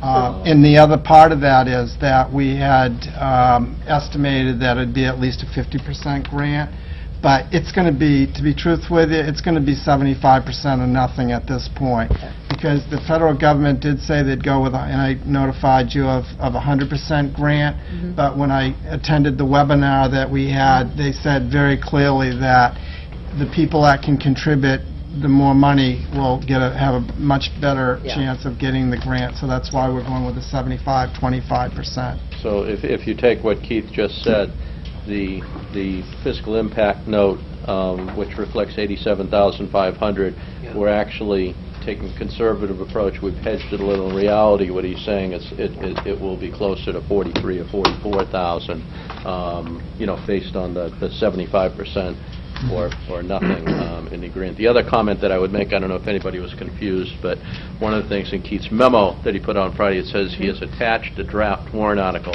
There wasn't actually an attached draft, but that draft is Article 16 in the package that I went out. didn't include the draft. No. No, I But apologize. but it was, the the updated article. The you long correct- week. You correct me if I'm wrong, Mark, but the, the updated article is, is the article that's Article 16. One other point of confusion, it's on the top of page 10. For whatever reason, um, a little confusing, at the heading was at the bottom of page 9. Yeah. Um, Won't be that way, obviously, when we're, we're done with this. But I think it's, it's all good. Yes. And um, do we have a consensus then to Well, move forward with the... May I, may I move, because I think we're going to have to do it anyway, that we recommend Article 16? We're we're going to go through all of the articles. I know, but can Why we not do it get now? this out of the We've got way? Article Well, 16 in I I would just as soon go through all of them sequentially at once, so we don't meet anything. I think what we're just looking to do is approve the change um, to the Well, warrant I'll article at this Also point. move that we approve the change that Right. Keith has recommended that is now uh, incorporated into Article 16. Right. I'll I- second for the purpose of discussing Okay. a question I'd like to ask when everybody gets done. Thank Go you. ahead. So when you, when you said it was 470 and 15, you didn't mean to say that. The addition will be in Article 16, Yes. 16 rather than 15. You're not asking for $470,000 in 15, that's what you said. Okay, that- I want to make sure that's correct. Okay, so we're adding the money to 16, as Richard said, rather than what you said. Okay, I'm all set with that. Okay, the next thing I'd like to say is, if we do the Phragmite thing on Meadow Pond, I think one of the things we want to do in that study is determine what the problem is at Winnacunnet with the level of the water going up, because that culvert combination there is too high, Fred? Actually, that will be part of the work. They did talk about that. Because we They'd like get- to see more flushing action in there. We get all these complaints all the time about Kings Highway and everybody along there, and if we can get that water out of there quicker, even if it does get high, it'll get out quicker. Right. steps. Okay, any Thank you. further discussion? No, great project, Keith, great. All in favor? Unanimous. Thanks, Keith. Don't go away. We Uh, got Mr. you out of Chairman, here before if I 11. could just say to you that one of the items that you're, if if you're al- allowing the Public Works Director to go after this, and I don't blame him for wanting to, he's had a lot of late nights, um, I wanted to say that with regard to the solid waste ordinance amendments, Oh, yes. um, the Public Works Director and the Town Manager and I did meet with regard to what is currently listed in the warrant article as changes. And uh, other than some little um, stylistic type changes that I'm going to be recommending when we go through each article, I I wanted uh, to say that the the Public Works Director is is okay with the uh, changes that are listed. Good. So I didn't know if you wanted, while he's here, to ask any questions about any one of those changes to get his input. I've already reviewed, it. I'm all set. I'm happy with it. Okay? It's, Well, it we was we well had- worth spending the time on that. Do you want to talk about it? Um, Don't encourage him. I'm not trying to, I'm just trying to be To courteous. To be honest with you, um, what I saw here, I looked at this today, Article 28, and it, it, it didn't look like a change very much from the last revision that we looked at, okay? Correct. And, and there were, um, quite frankly, I, I- I wasn't planning on, on um, beating this one up, but a lot of the concerns of, of detail in there in the ordinance, that if you want to change it, will require future changes from the legislative Mhm. um, Mhm. Yeah. body, some of the, the information in there in terms of right to inspect materials, but not to open bags. I don't know how you inspect materials. It doesn't appear to have changed some of the constitutional concerns, um, you know, that you had. Um, tho- Those are my comments. It do- Does it make it a bad thing? No. Um, But I, I, my my sense is, is that we ran out of time on this one. Well, we covered a lot of ground on there, I thought. I Do you think- think, do you think I that think we that's bad covered a lot of verbiage there about uh, looking at the trash but not opening bags? Well, i- I don't think in- that's a problem. Inspect is a, uh, a word that, Mhm. um, it- it- it's how you do it. Yes, Yeah. yes. Uh, It's not looking, it's not opening bags, which is what the Mhm. constitutional Yeah. holding of the court was addressing. Right. Yeah. Inspecting is, Yeah. is, is uh, something that will be flushed out in practice. Yeah. And we're not going to be opening bags, we don't have to worry about the court decision then. We're not going to be opening bags. I'm all happy with it. Okay. All set? Okay. Thank you. Yes, Thank you. Thank Thank you, you. Keith. We'll be back. Thanks. Okay. Approval of minutes of December 30th.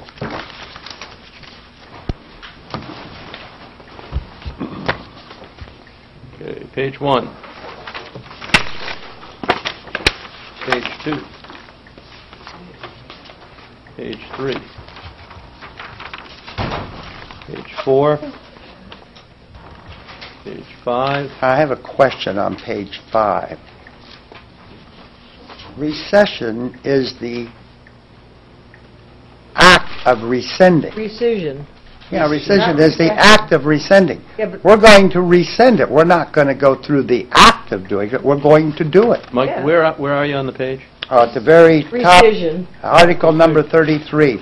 Rescission is the act of rescinding, Correct. and we want to rescind it, period. Take it away. Right? Yes. we do. Mr. Phil Bean, it's your, your idea. You want to kill it, right? Yes or no? There you go. But We don't need a Man rescission. We just want rescind, we just want to rescind Well, it, that's period. all right. Mike, for what it's worth, the- the the names that we're describing them here for purposes of identify them Hmm? are are not necessarily in the the warrant itself. Okay, what is- this is 18 or 33. 19. 19. Vote Right, to it was 30. rescind by adoption, it's adoption, so it's, it's not. It, do- it, yeah, it's got Don't the worry word about rescind, not, Yeah. that that's Good, just, we good. we had put titles on them, Yeah. just so Titles we knew what we were talking Yeah, about, right. but those are not going to be contained on the warrant or the ballot, those Okay. headings. Title- Titles are gone. Yep. I'm happy with that.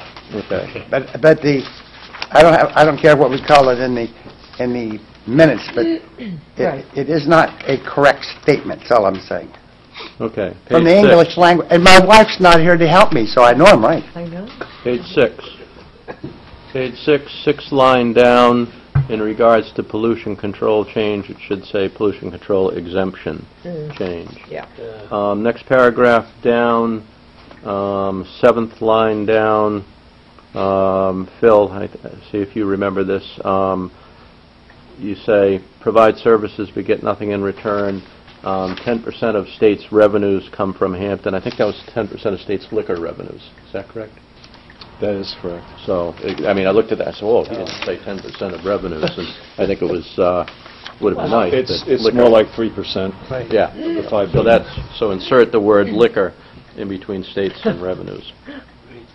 Um, On page seven of seven, um, I don't know if this is a typo or whatever, but if you look, there's, there's two motions with, with votes described as 500, and um, it, it it looks like a repetition. I don't think that there were two motions, and uh, it- it's, there's different words, but one says, "Selectman Woolsey strongly suggests that Ms. Lyons be directed to contact Arthur Moody." That's the dread lady.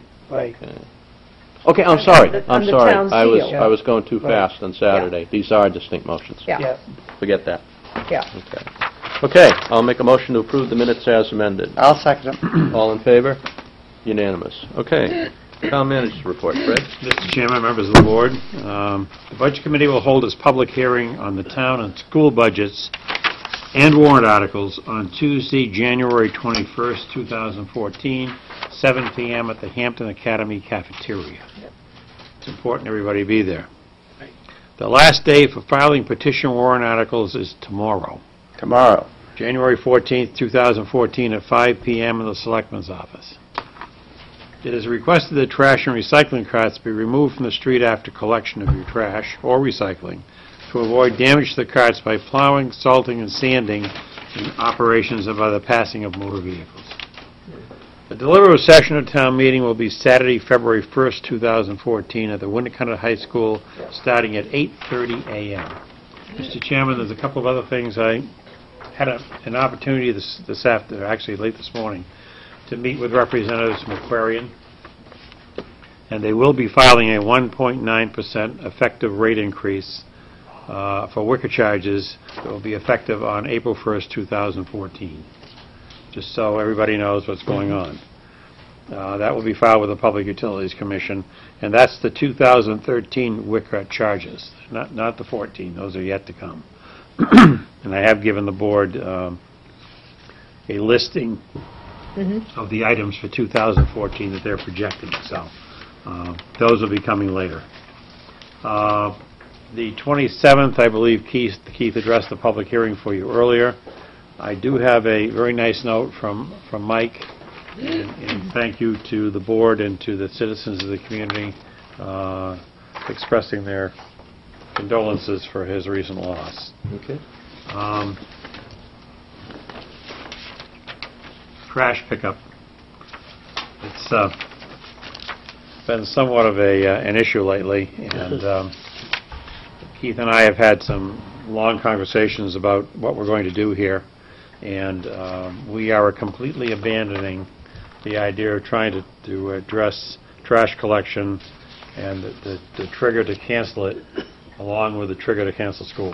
Mm-hmm. It doesn't make a lot of sense. Right. Uh, Good. School could be canceled because of one inch, it could be canceled because of loss of power, it could be, there's a whole number of issues Yeah. that that come and interrelate to that. Can I comment on that, Fred? Sir. I- Is it, it, it, I was involved with, with some of these discussions, uh, it's where I'm coming from.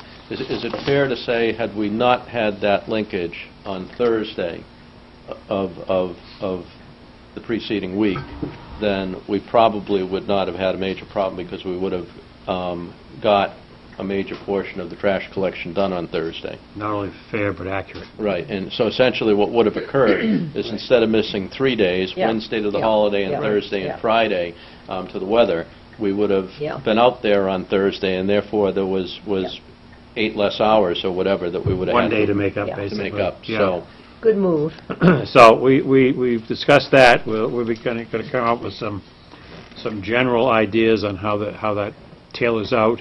Um, Certainly, we're going to tailor it to uh, the actual occurrence of bad weather. Good. Right. Um, Certainly, if we have two inches of snow, we're going to be collecting. That's just the way it is. If we have a foot of snow, we're not going to be. Well, isn't it true, though, if you have the plows out, you can't have those trucks running around the same time? Not necessarily. It depends on how much snow there is. Yeah. Uh, It's If gonna we be have storm. light, uh, two inches of light fluffy snow, Yeah. uh, it- it's it's it's Yeah. more an operation of Yeah. sweeping it off the street more than anything. So Okay. we would actually be picking up trash on those particular days. That, that particular day, um, the trash collection is essentially six in the morning till two in the Yeah. afternoon. Mhm. That particular day did not crank up until like two or Right. three in the afternoon. Right. Yeah, so. So it's going to be Right. storm-specific, Fred. It's going to be storm-specific or incident-specific. Yeah. And one of the things we'd like to ask people to do, so everybody knows what's going on, is to please sign up for the notifications. The forms are upstairs on the, on the counter before- in front of the town clerk's office, and please come in and sign up. We'll give you voice notification by phone, we'll give you email notifications. We're obviously going to place the material on the websites, Mm-hmm. uh, so that people can have a way of finding out. Excuse me. Yeah. We'd like folks to know as soon as possible. We- Mm-hmm. Your email address is important to us, your phone number. Fill these out, you can, you can take your name off the list anytime you want, or add it anytime you Yeah. want, so, but this will help If- And if I solve the can, problem. It does work. if I can add to what, what Fred said, um, you can sign up for all three of these online, right on the front Right. page of the homepage. It's over on the right side. Or just one. Huh? Or one, but I'm saying they're all, you don't have to come into town hall and fill out a form. You can, Yep. if you've got internet access, the only time you really have to come in to sign up is if you don't have internet access and you're looking to have the voice um, capability. Yeah. One thing, Pa- Paul and I, Paul Paquette, have a dialogue off and on on this, like, how do we get people to sign up and whatever. And, um, you know, we talk about magic bullets and and the whole Oh, yeah. bit, and I think I'm remembering the nu- number correctly. Um, But Paul sent me an email, I think we were up to close to 400 on the email system, which did not exist several months ago. Right. And he said, problems with trash collection appear to be a magic bullet Yeah. in terms of incentivizing people to- to sign up. So that's made dramatic progress. But the problem us is- to really communicate. I'm not going to mention which street, but a street in town I know very well, all the barrels are out on Thursday morning.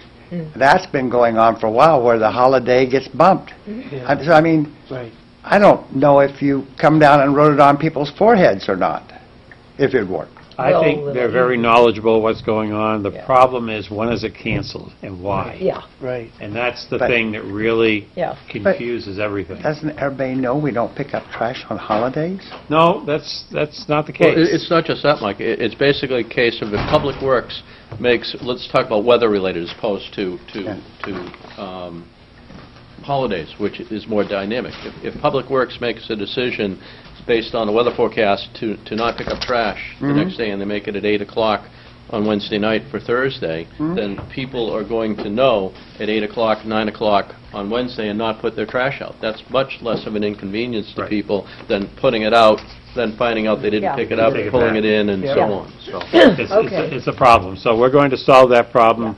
We're going to make sure that uh, people know what's going on, and we're going to try to make this so it's convenient for folks. So you're going to call them also, or contact them also then when there's just a holiday and there's really no big deal, it's just a holiday? Well, and we have that up on the website already. And you're going to call them for that, too?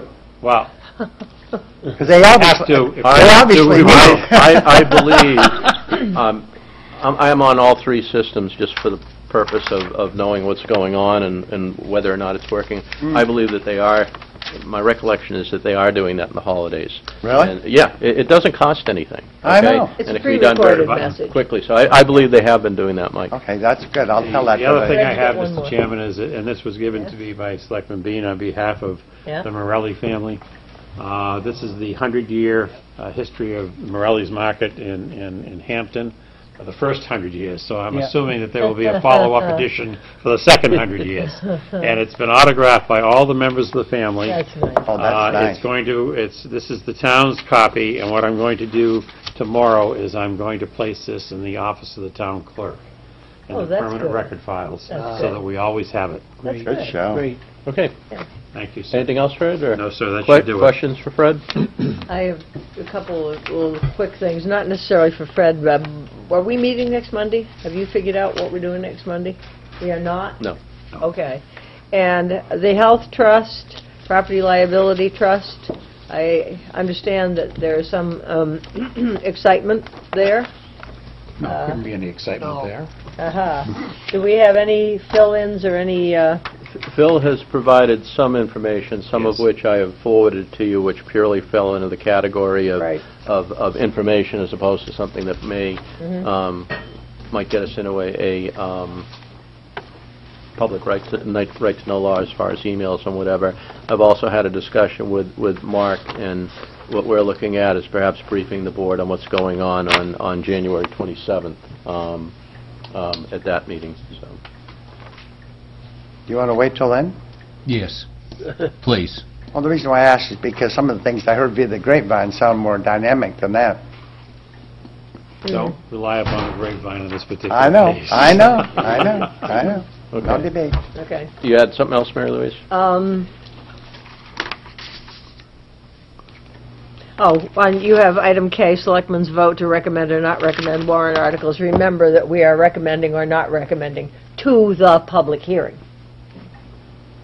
Well, that's the initial step, that the, that the statement should be that we are recommending or not recommending to the public hearing. Okay, but, but it's essentially the only vote that we will take unless something changes with a And we have warrant the article option at to deliberative change. session. uh, but- Right, But I think, just as a suggestion, Right. the correct way to phrase that is to the public hearing. okay. And, uh, That, The- that cover it?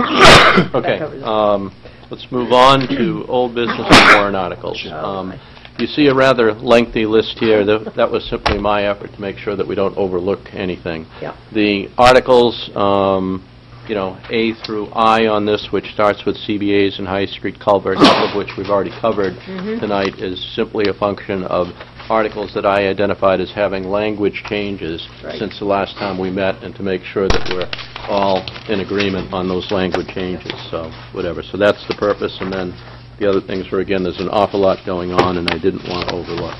Um, Starting with, with item A, CBAs, there are three articles on the warrant which we received I know. Friday Have a good time. um, that did not exist in the previous revision, which is based on our um, vote to ratify the um, Teamsters last Monday and our vote to accept the fact finder's recommendations on the Fire 2664 and Fire 3017 supervisors. right. Um, Those articles are, are, we can take them one at a time. 12, the Teamsters, I reviewed it, I'm absolutely fine with it. Anybody have any concerns Nope. with the Teamsters? Are we going to go down through them to uh, uh, an order and vote on them as we go along? We're along? going to vote on everything sequentially in conjunction with item K. We'll go through, right through every article. We're wants not to going to clean bounce it up. around. Okay, how about get warrant article number eight then? We're going to go through all the articles, starting with number eight, Yeah? under item K on the agenda. Okay. We'll go from eight to nine to 10 so that we don't... When do you want to vote? At the end of going through them or a- a- as we do each one? All we are going, if you, if you take what I just said, all we're doing now is basically agreeing on the language that has changed or been added in the case of the three... Oh, okay. three- Okay. Okay, there's a difference between agreeing to language. You have to, it might Yes. take us, you have to agree to language changes or new articles Yes. before you vote whether or not you're going to recommend or not recommend them, No problem, okay? no problem. So at any rate, we have the, number 12, the Teamsters, number 13, the firefighters, Local 2664, Yep. and number 14, the firefighters officers. Those are all new languages. I have no We- problems. We all, all set with that? Okay, that's fine. Um, DPW equipment replacement, um, Mark, you had made a a minor change to that. We that. fixed that last week, I thought. Excuse Uh. Well, there's, there's a a little bit more language than that. There's the, the language, Mary Louise, that you were looking for me to get approved by the Yes, sir. uh, DRA, and they did indeed. Yep. And also, uh, the, uh, w- some a- language has been added uh, as to whether a trade-in is deemed prudent by the Public Works Director, the Town Manager, and the Board of Selectmen. If they saw the condition of the vehicles, they would not only deem it prudent, they would say that the Director of Public Works is a miracle worker if he can get any money for those. They're going to add another one to the list. Yeah. Just went down this... last- Whatever. So, at Whatever any rate, does wording. anybody have any concern with the language changes to Article 17 Cool. on the No. DPW equipment? Cool. We all set on that? Yep. Yeah. Okay. Um, We just cleaned up recreation. Recreation Yeah. Fund, just to confirm, that was number 22. Yep. I believe, see if you agree with this, Fred. Sir. Or Mark, um, that, that all we need to do in the change to that language is to scratch the word fencing. I believe you're correct. Which article are you on? 22, the rec Rec. fund. The only change that I Lights. see to that is scratching the word fencing. The brilliant Line, lights. line four, under C, damaged fencing. Yeah.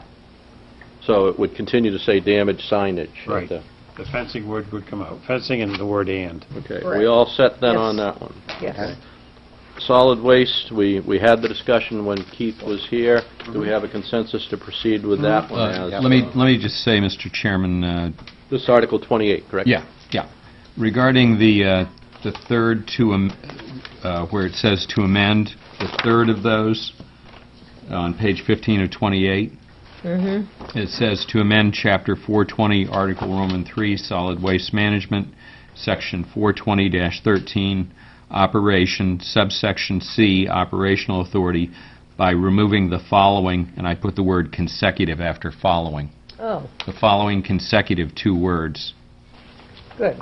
just so that uh, Mhm. clarifies it. The word "and" appears a number of times, and you don't want to Right, take it out everywhere. okay.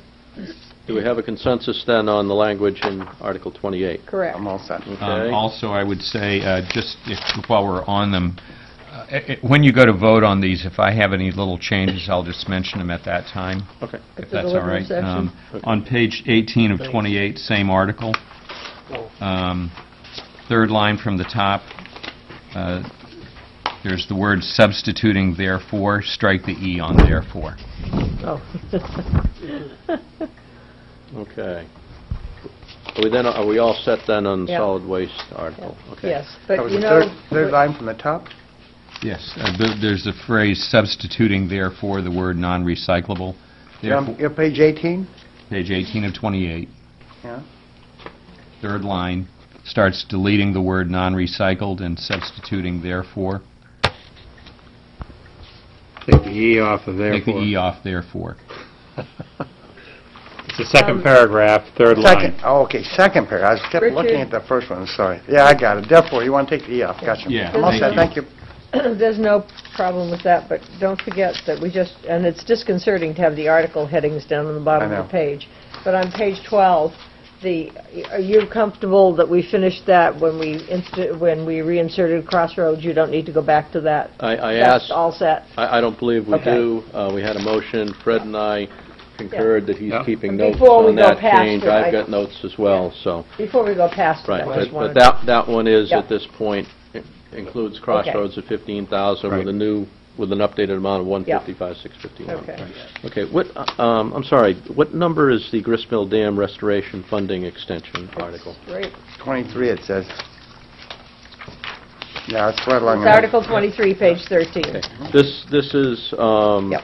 I don't know to what extent you've used, you've changed this, Mark, from what um, Candace may have submitted, whatever, that this is essentially our first look um, at Mhm. this, at least coming from, from the town attorney and the town manager. I looked at it, I'm fine with it. Does Yeah, anybody have I any don't have a concerns? problem. Okay. Okay, so we're all set on that one. Did you want some more time on that, Mark? Gordon? No, I'm all set. You're all set? Uh, Thank you. Tree warden, unfortunately, with this version, with the warrant, we lost our table of contents at the start. Oh, Right. Um, We're going to have to speak to the person who produced it, right? Well, no, it- you won't have a table of contents on the warrant. Right. Um, What number was the uh, tree warden? then? 34? Okay. 34. And this is, again, our first official look Yeah, at the- bottom of page 22. the language on that. I went through that, I have no Yeah. issue with that. Do we have a... Pretty con- straightforward. Uh, Second, second uh, line on the next page, 23, uh, section 3, just strike the E on therefore. How's that keep coming up? You stayed up late to do that, Yes. didn't you? Yeah. Okay. I have no problem with the article. Okay. Um, Cemetery markers and um, monuments restoration, actually, this is a Private petition petition, yeah. um, warrant article, so all we will be doing this is voting to recommend or not Correct. recommend. or- I thought they always include that in their budget the last few years. What? No, they've actually had separate warrant articles for Right. that. Yeah. Have they always had Yes. separate Yeah. one? Oh, yeah. Yeah. And I think in the past, for example, it was the, um, what is it, the Pine? Pine Yeah, Grove Pine Cemetery. Pine Grove, Cemetery. Pine Pine They're Grove Cemetery. working This one through. is Ring, which is up off a park next to Wing Pine. That's good. There. And Okay. each one done sequentially. Yep. Right. Who else you got? Any other warrant articles? I just put that on there. If there's anything that I missed that, that may have changed that we needed to review. Yeah, Okay. uh, shall I just do the little minor corrections when you go through to recommend them or not? Or would you like Um, them now? How how many do you have, Mark? Two or three? Well, let's just do them now. Okay. I was thinking you might say that. He wants to see us fish through all these Um, pages. Article 32, 32. um, which is uh, martial arts weapons. Yep. Uh, It just has a period and a question mark at the end. You want to strike the period. Oh, yes. Okay. Um, Article 33, the uh, Yep. entertainment ordinance. Oh, God. Uh, On the bottom of page nine- 21 of 28, line right above noise level standards, you have uh, boundaries of his slash her. I would put another slash and put its. I, I didn't follow. Where, where are we looking now, Mark? Page Okay. 21? 21 of 28. Yep. Yep. We're talking uh, now the, uh, a- the the added subsection A, noise levels. Mm-hmm. Okay. Second line starts out boundaries of his slash So, her. It's on okay. the next page. Okay, Rose. now I see. Wait a minute, I'm- In On the version, next it's- page, It's yeah. on page 22. Oh, okay. Okay, I've And got what a is different number. where is it again? Is on the top of her, page it's 22, Mike. premises, I'm yes. sorry, I've got a different... Okay, Yeah. it should be unlawful. and its. You got the higher class copy. Oh, his slash her, you shouldn't have slash in there anyway, right? Yes. Oh, you can. Yeah. His- Can, okay. It's his And- slash her slash It's. its. It's So would it be premises. comma or? No, no, no. And or? No. We- You We can can use do the his slash? slash her Use slash slash. its. It's more compact, yes. I mean, I like slash, but I didn't know you could use one on the warrant article. Okay, what article. else? Next. What else you got? I Mark? think those are the only two. Okay, Okay. good. All right. Let's zip. Okay, through that. Mhm. Implementation of, of tally votes. Tally votes, I asked Christina um, to include the RSA. Yep. Um, This is something that, that we've done in 2012 and 2013. Mhm. Um, Just to clarify, and I'll I'll read the important language out of the statutes or whatever. Um, All votes of the governing body relative to budget items or any warrant article shall be recorded votes, and the numerical tally of any such vote shall be printed in the town, school district, or village district warrant next to the, next to the affected warrant article.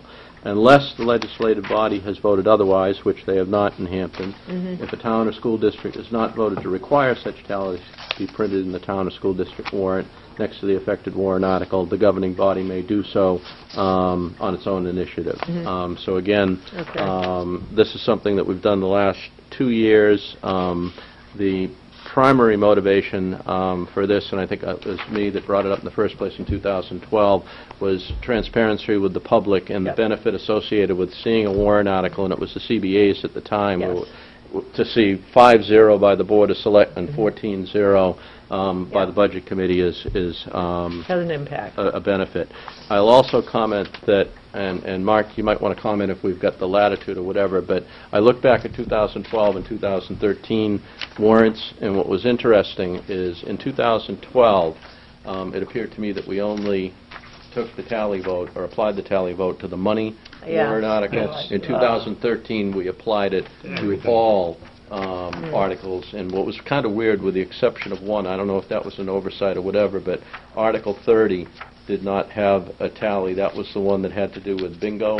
uh, Oh, yes. whatever. It's not Yes, a- I don't petition. know, I don't Yeah. remember us whatever, purposely yeah. excluding it, but of looking at the warrant and the annual report, it- it's not um, Yeah. there. So what, what you will see, if we do it the same way as 13, is for money articles, you will see the tally associated with the selectmen and the tally associated with the budget committee, where the budget committee is not voting on um, non-money articles, you'll just see the selectmen on the non-money. I'd prefer just to restrict to the money articles, but that's personal preference. Well, I would make a motion that we um, continue the, the, the um, practice of the last two years of including the tally vote um, on all of the articles. Second.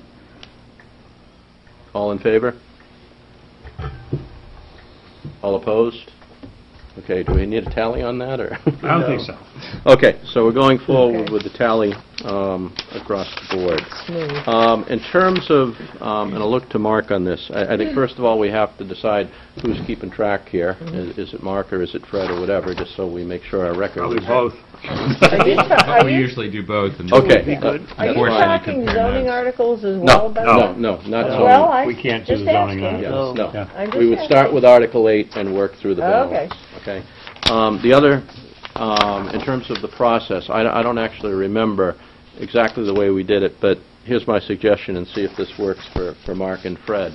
Um, If I simply say in each one, all those in favor of recommending, Article in favor seven. not recommending, or whatever, Yeah. um, and I guess abstaining is, is an option, as in any, any vote. Okay. If, for example, if we end up with, with a 3-2 to recommend, then the result of that will be a, um, the selectmen recommend with a 3-2 tally. Yeah. If there's Yeah. another one where there's a vote and three are, are, are are not in favor of recommending, then, then the vote will be not to recommend 3-2.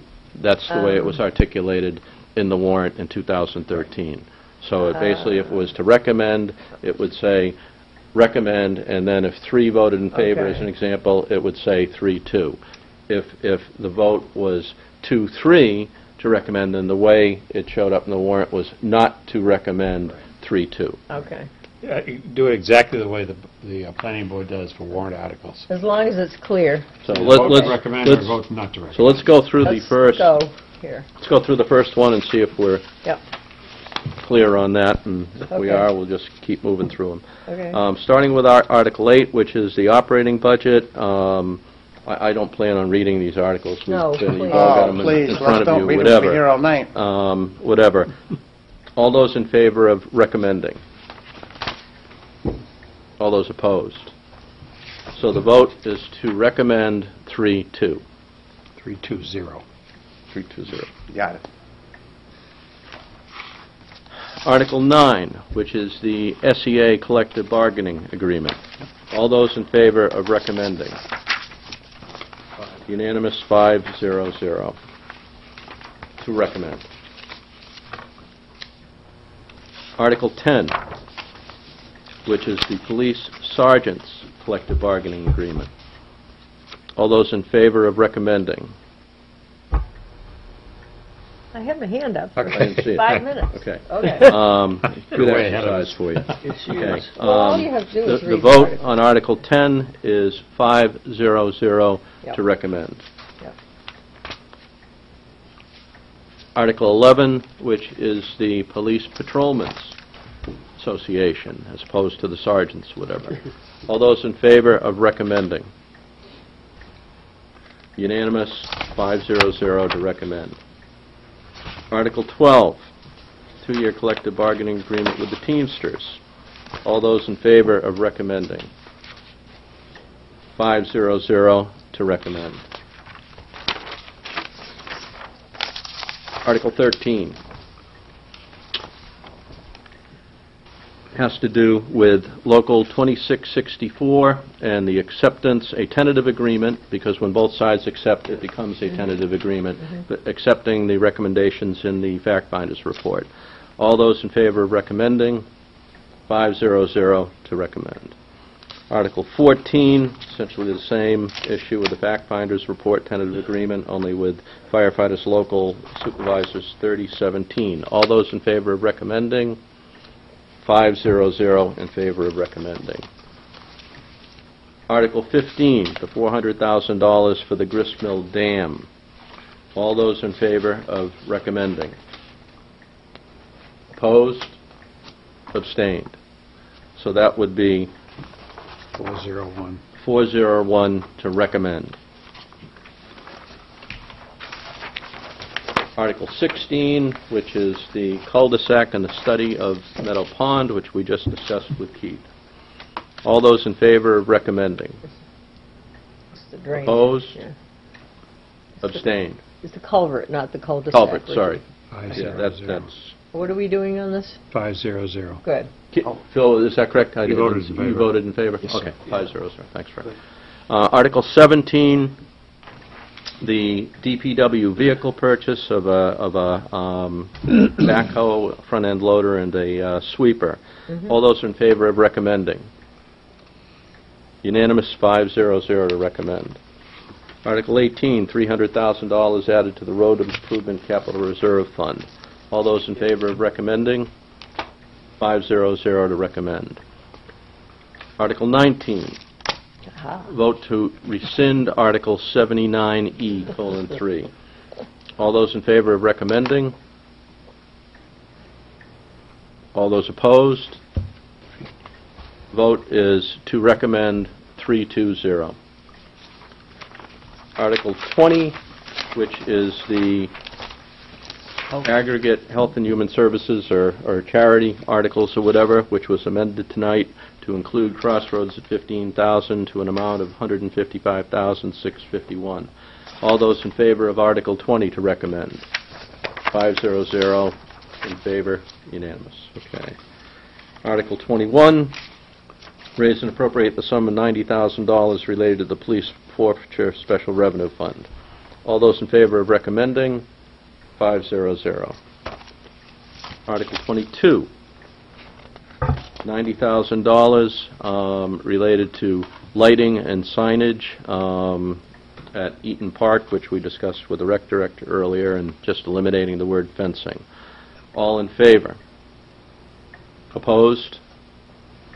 Vote is to recommend, 320. Article 23, related to the 28,678 that would otherwise lapse on March 11th, related to the um, gristmill building, whatever. All those in favor of recommending?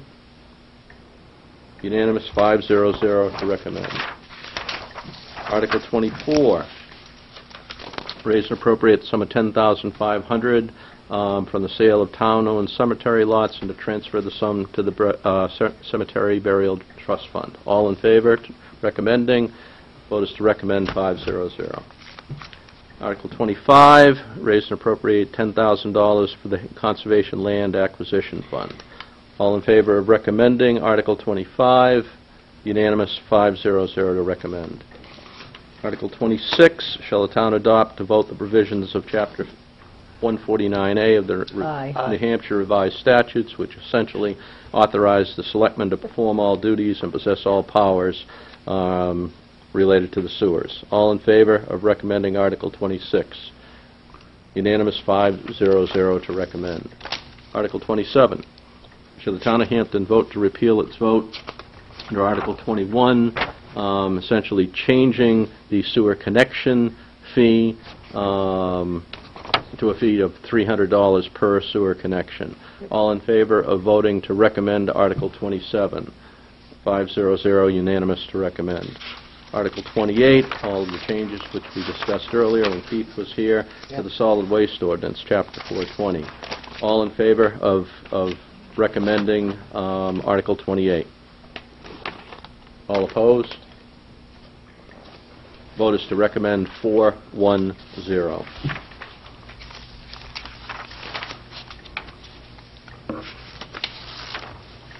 Okay, Article 29, related to accepting a number of streets, including Great Gate, Juniper, Necessian, and and so on.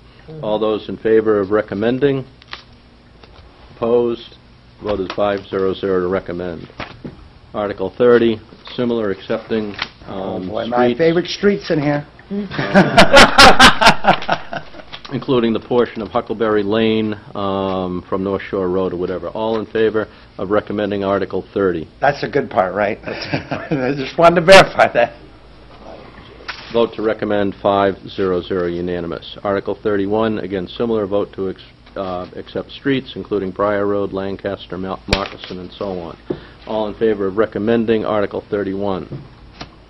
Unanimous, vote Oh. to recommend 500. Oh, yeah, that's right. I'm Article 32. Article 32 is related to Martial arts. um, the Martial martial arts weapons and, and, and just simply substituting or removing the word mixed or whatever. All in favor of, of recommending Article 32? Unanimous vote is to recommend 500. Article 33, Article 33 relates to the amendments to um, Chapter 149, the entertainment license. All in favor of of uh, recommending Article 33? All opposed? Vote is to recommend 410.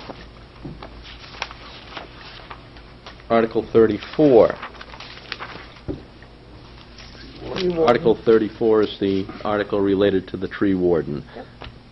All in favor of recommending Article 34? Vote is unanimous, 500 to recommend Article 34. Article 35 relates to the discontinuance of the firefighting apparatus capital reserve. All in favor of recommending Article 35? Unanimous, 500 to recommend. Can I be excused for one minute before you go to 36? Okay, Right let's back. take a pause. We need a full house for these votes. Take a breather, too, to catch your breath. Mm. That, and I was talking with Warren Mackinson too on the firefighting apparatus capital reserve fund. They have to record, to report that every single year. That's correct. Yes, to the Attorney General's office, so this means they'll be able to clean it off the books. Right. Instead of having a zero fund continuing in there forever. Um, One, one thing that, um, we'll we'll get to the Budget Committee and what we're going to try and do to get the stuff to them by noon tomorrow or Oh, whatever. But All I set would, up. pre- I would presume, Fred, when, That's when you true. guys And- go through your and thing, Recommending, I'm sorry.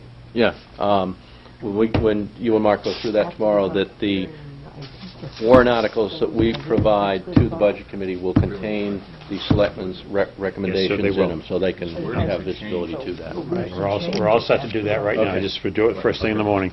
Thank you very much for waiting. Okay, moving on to Article 36. Mhm. One meeting. Ready to go. Okay. Yeah. Yeah. Article 36, which relates to a petitioned article, um, involves $80,000 on Holman Lane. All in favor of recommending Article 36? All opposed? Vote is to not recommend 140. Article 37, um, petition of John Nyan uh, and 25 residents, $3,000 to experience Hampton for the Christmas parade. All in favor of recommending Article 37? Unanimous, 500 to recommend. Article 38, due to the increased request for services, this has to do with the Child and Family Service article, where they came in looking for an additional 1,000 um, to the 5,000 that was in the um, Health and Human Services. Health and Human article. Services aggregate article or whatever, we, we advised them that if, if that, um, you know, took place, that we would be removing it from the, the article, which we did. Um, I believe that there's been communication between the town manager and Christina and them suggesting to them that they may want to have a Hampton resident show up Yeah. at deliberative session and Yeah. modify the amount Yeah. uh, or whatever. So, um, all in favor of voting to recommend um, Article 38? As is. No, a- actually, uh, of course, this, this doesn't contain the magic words to raise and appropriate. Correct. Yeah. So this will have to be amended in some Correct. fashion Right, if it's to be implemented right. at the deliberative session. Okay, Yes. either way, at, at at this point, all um, done. I, I think we still need to take the Yes. vote, Yeah. okay? But obviously, if it's amended, we have an opportunity to change our vote or whatever. right. So, all in favor of recommending Article 38? As is, okay. So we have, all opposed, abstained. So you, were you, I didn't see a vote, Phil. You- I'm you- sorry, I was in favor. You're in favor? Yes, sir. So the vote is four, one, zero. Um, And what, okay, never mind. Okay, Article 39, um, petition of Victor DeMarco and Richard Ballou, um, Fisher House. more than 25 $25,000 related to the Fisher House um, program. All in favor of recommending Article 39? I've had questions on whether that has any relevance in New Hampshire, and I literally don't know. Can't tell you. Um, My my comment is, is I had to think long and hard on this. Um, I've I've always supported the aggregate article, okay? I've always voted for it in the voting booth.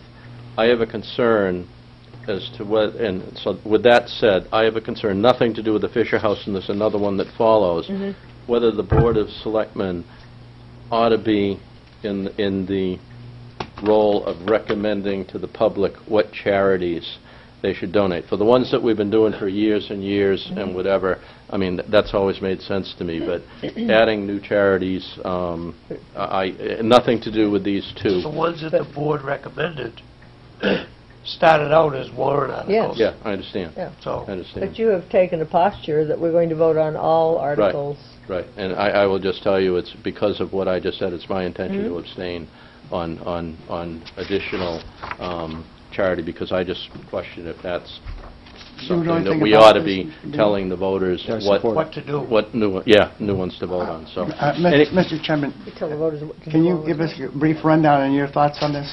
Well, uh, the, the, the the question of charity is one that is uh, time-honored in Hampton, Mhm. not only through uh, uh, municipal uh, government, but through the uh, good graces of the taxpayers. Uh, We have uh, heard uh, eloquent uh, speech tonight about taking care of those that are less fortunate perhaps than some of us. Certainly the Fisher House and those that have uh, served their country um, and will never be whole uh, and their families are uh, equally deserving, and hence my support. Thank you. So you think Okay. it's a a good reputable Yes, sir. charity? Oh, yeah, Okay. certainly- Everything I looked at looked Yeah. absolutely above board, whatever. Okay. Okay, all in favor of recommending Article 39? Opposed? Abstained? Vote is to recommend 401. Article 40, also a charity, um, Seacoast Family Promise, $7,000, um, whatever. So this All- has potential ramifications as far as zoning ordinances and so forth are concerned. I don't know if Fred has any concerns about this, but if these, if the housing is taking place in, uh, say, without certificates of occupancy or other uh, situations, I understand some of the housing takes place in churches and so forth, and I just want to make sure the town is not, um, is not liable for any situations that might arise over the manner in which this charitable function is being undertaken. That's a good point. Building inspector would have to inspect. Well, one of the things that came up before when this particular group or a similar group came Right. along a few years ago was that they were supposedly, rumor and all that sort of thing, putting quite a few people in, like, the basement of a church. Mm. Well, they're out of the weather, but it doesn't necessarily follow the rules. Mm. And that's a big concern for us. So I guess, Yeah. I- my concern is, they didn't come in to talk to us about this, did they? Unless I missed it? no. No. They didn't come in to say anything to us, and I feel very uncomfortable about this whole thing. It's Okay. not that I'm against it, it's just I feel uncomfortable about it with the possible zoning, uh, zoning article, I mean zoning issues and occupancy and all Yeah. that sort of thing, so. Well, Vote. may- maybe they'll come to the uh, public hearing. Yeah. Are we Okay. You don't have to recommend it. Okay, Yeah. all, Yeah. all in favor of voting to recommend Article 40? Opposed? Abstain? So the vote is to not recommend 302, correct? We have two, Correct. not to recommend, three opposed, right. Set? Set. Article 41, uh, petition warrant article, looking to raise and appropriate $4,950 for the repair and restoration of cemetery markers at the Ring Ring Swamp Cemetery. All in favor of recommending Article 41? Unanimous to recommend 500. Article 42 is a petition warrant article um, related to the removal of a deed restriction in order to allow the installation of a higher fence. All in favor of recommending Article 42? All opposed? All abstain? I- I'm abstaining, I don't understand it enough that I can vote one way or the other. What's the vote? Um, Zero one. 401, yeah. Four zero one. Recommend. Uh, Mr. Chairman, regarding the uh, vote that's been taken, uh, on those articles for which uh, you've not been briefed by petitioners, Right. uh, those are also actually going to be heard by the Budget Committee, I That's believe true. tomorrow night. Yes. In other words, money-related Uh, articles. Related articles. Yeah. The I I don't 21st? know if those groups are going to want to be alerted that, you know, there are a couple of opportunities coming up before the deliberative session, which may affect the recommendations or not. They should have been alerted when they Right. turned in the petition, I would think. Well, they could be. I mean, they, it Yeah, could be I said to don't them that tomorrow night, the Budget Committee is going to Yeah. be taking up warrant articles, is- and it's going to be presumably taking some of the same votes that you are. Yeah. They may have some of the same questions. Well, they're only voting on the money articles, you understand. Understood. Yeah. That's all they're going to get. They're not, But, right. for instance, uh, Article 39 and four- and 40 are, uh, money. are money Right, articles. right, absolutely. And uh, in case there's some need to Mhm. to advocate better for Yeah. them, that's an opportunity.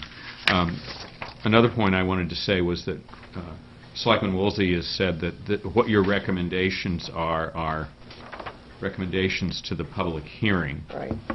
Um, I don't know if the chair was planning to notice a meeting of the board for the night of the public hearing, so that if you, you could take a vote to affirm your recommendations or change any of them.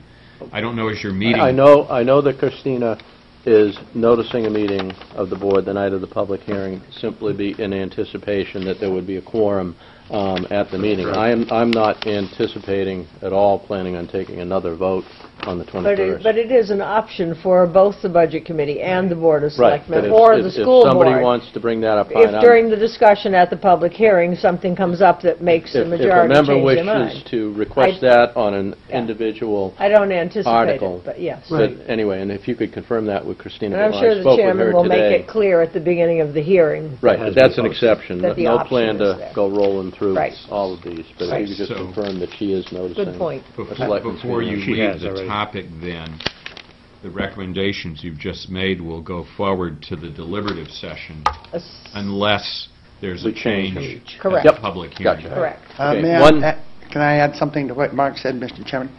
You said that it'll give another opportunity to plead their case or whatever, advocate for their case, whatever the word you use. Mm-hmm. Correct. If they're asking me and this board for their vote on an issue, here's the place.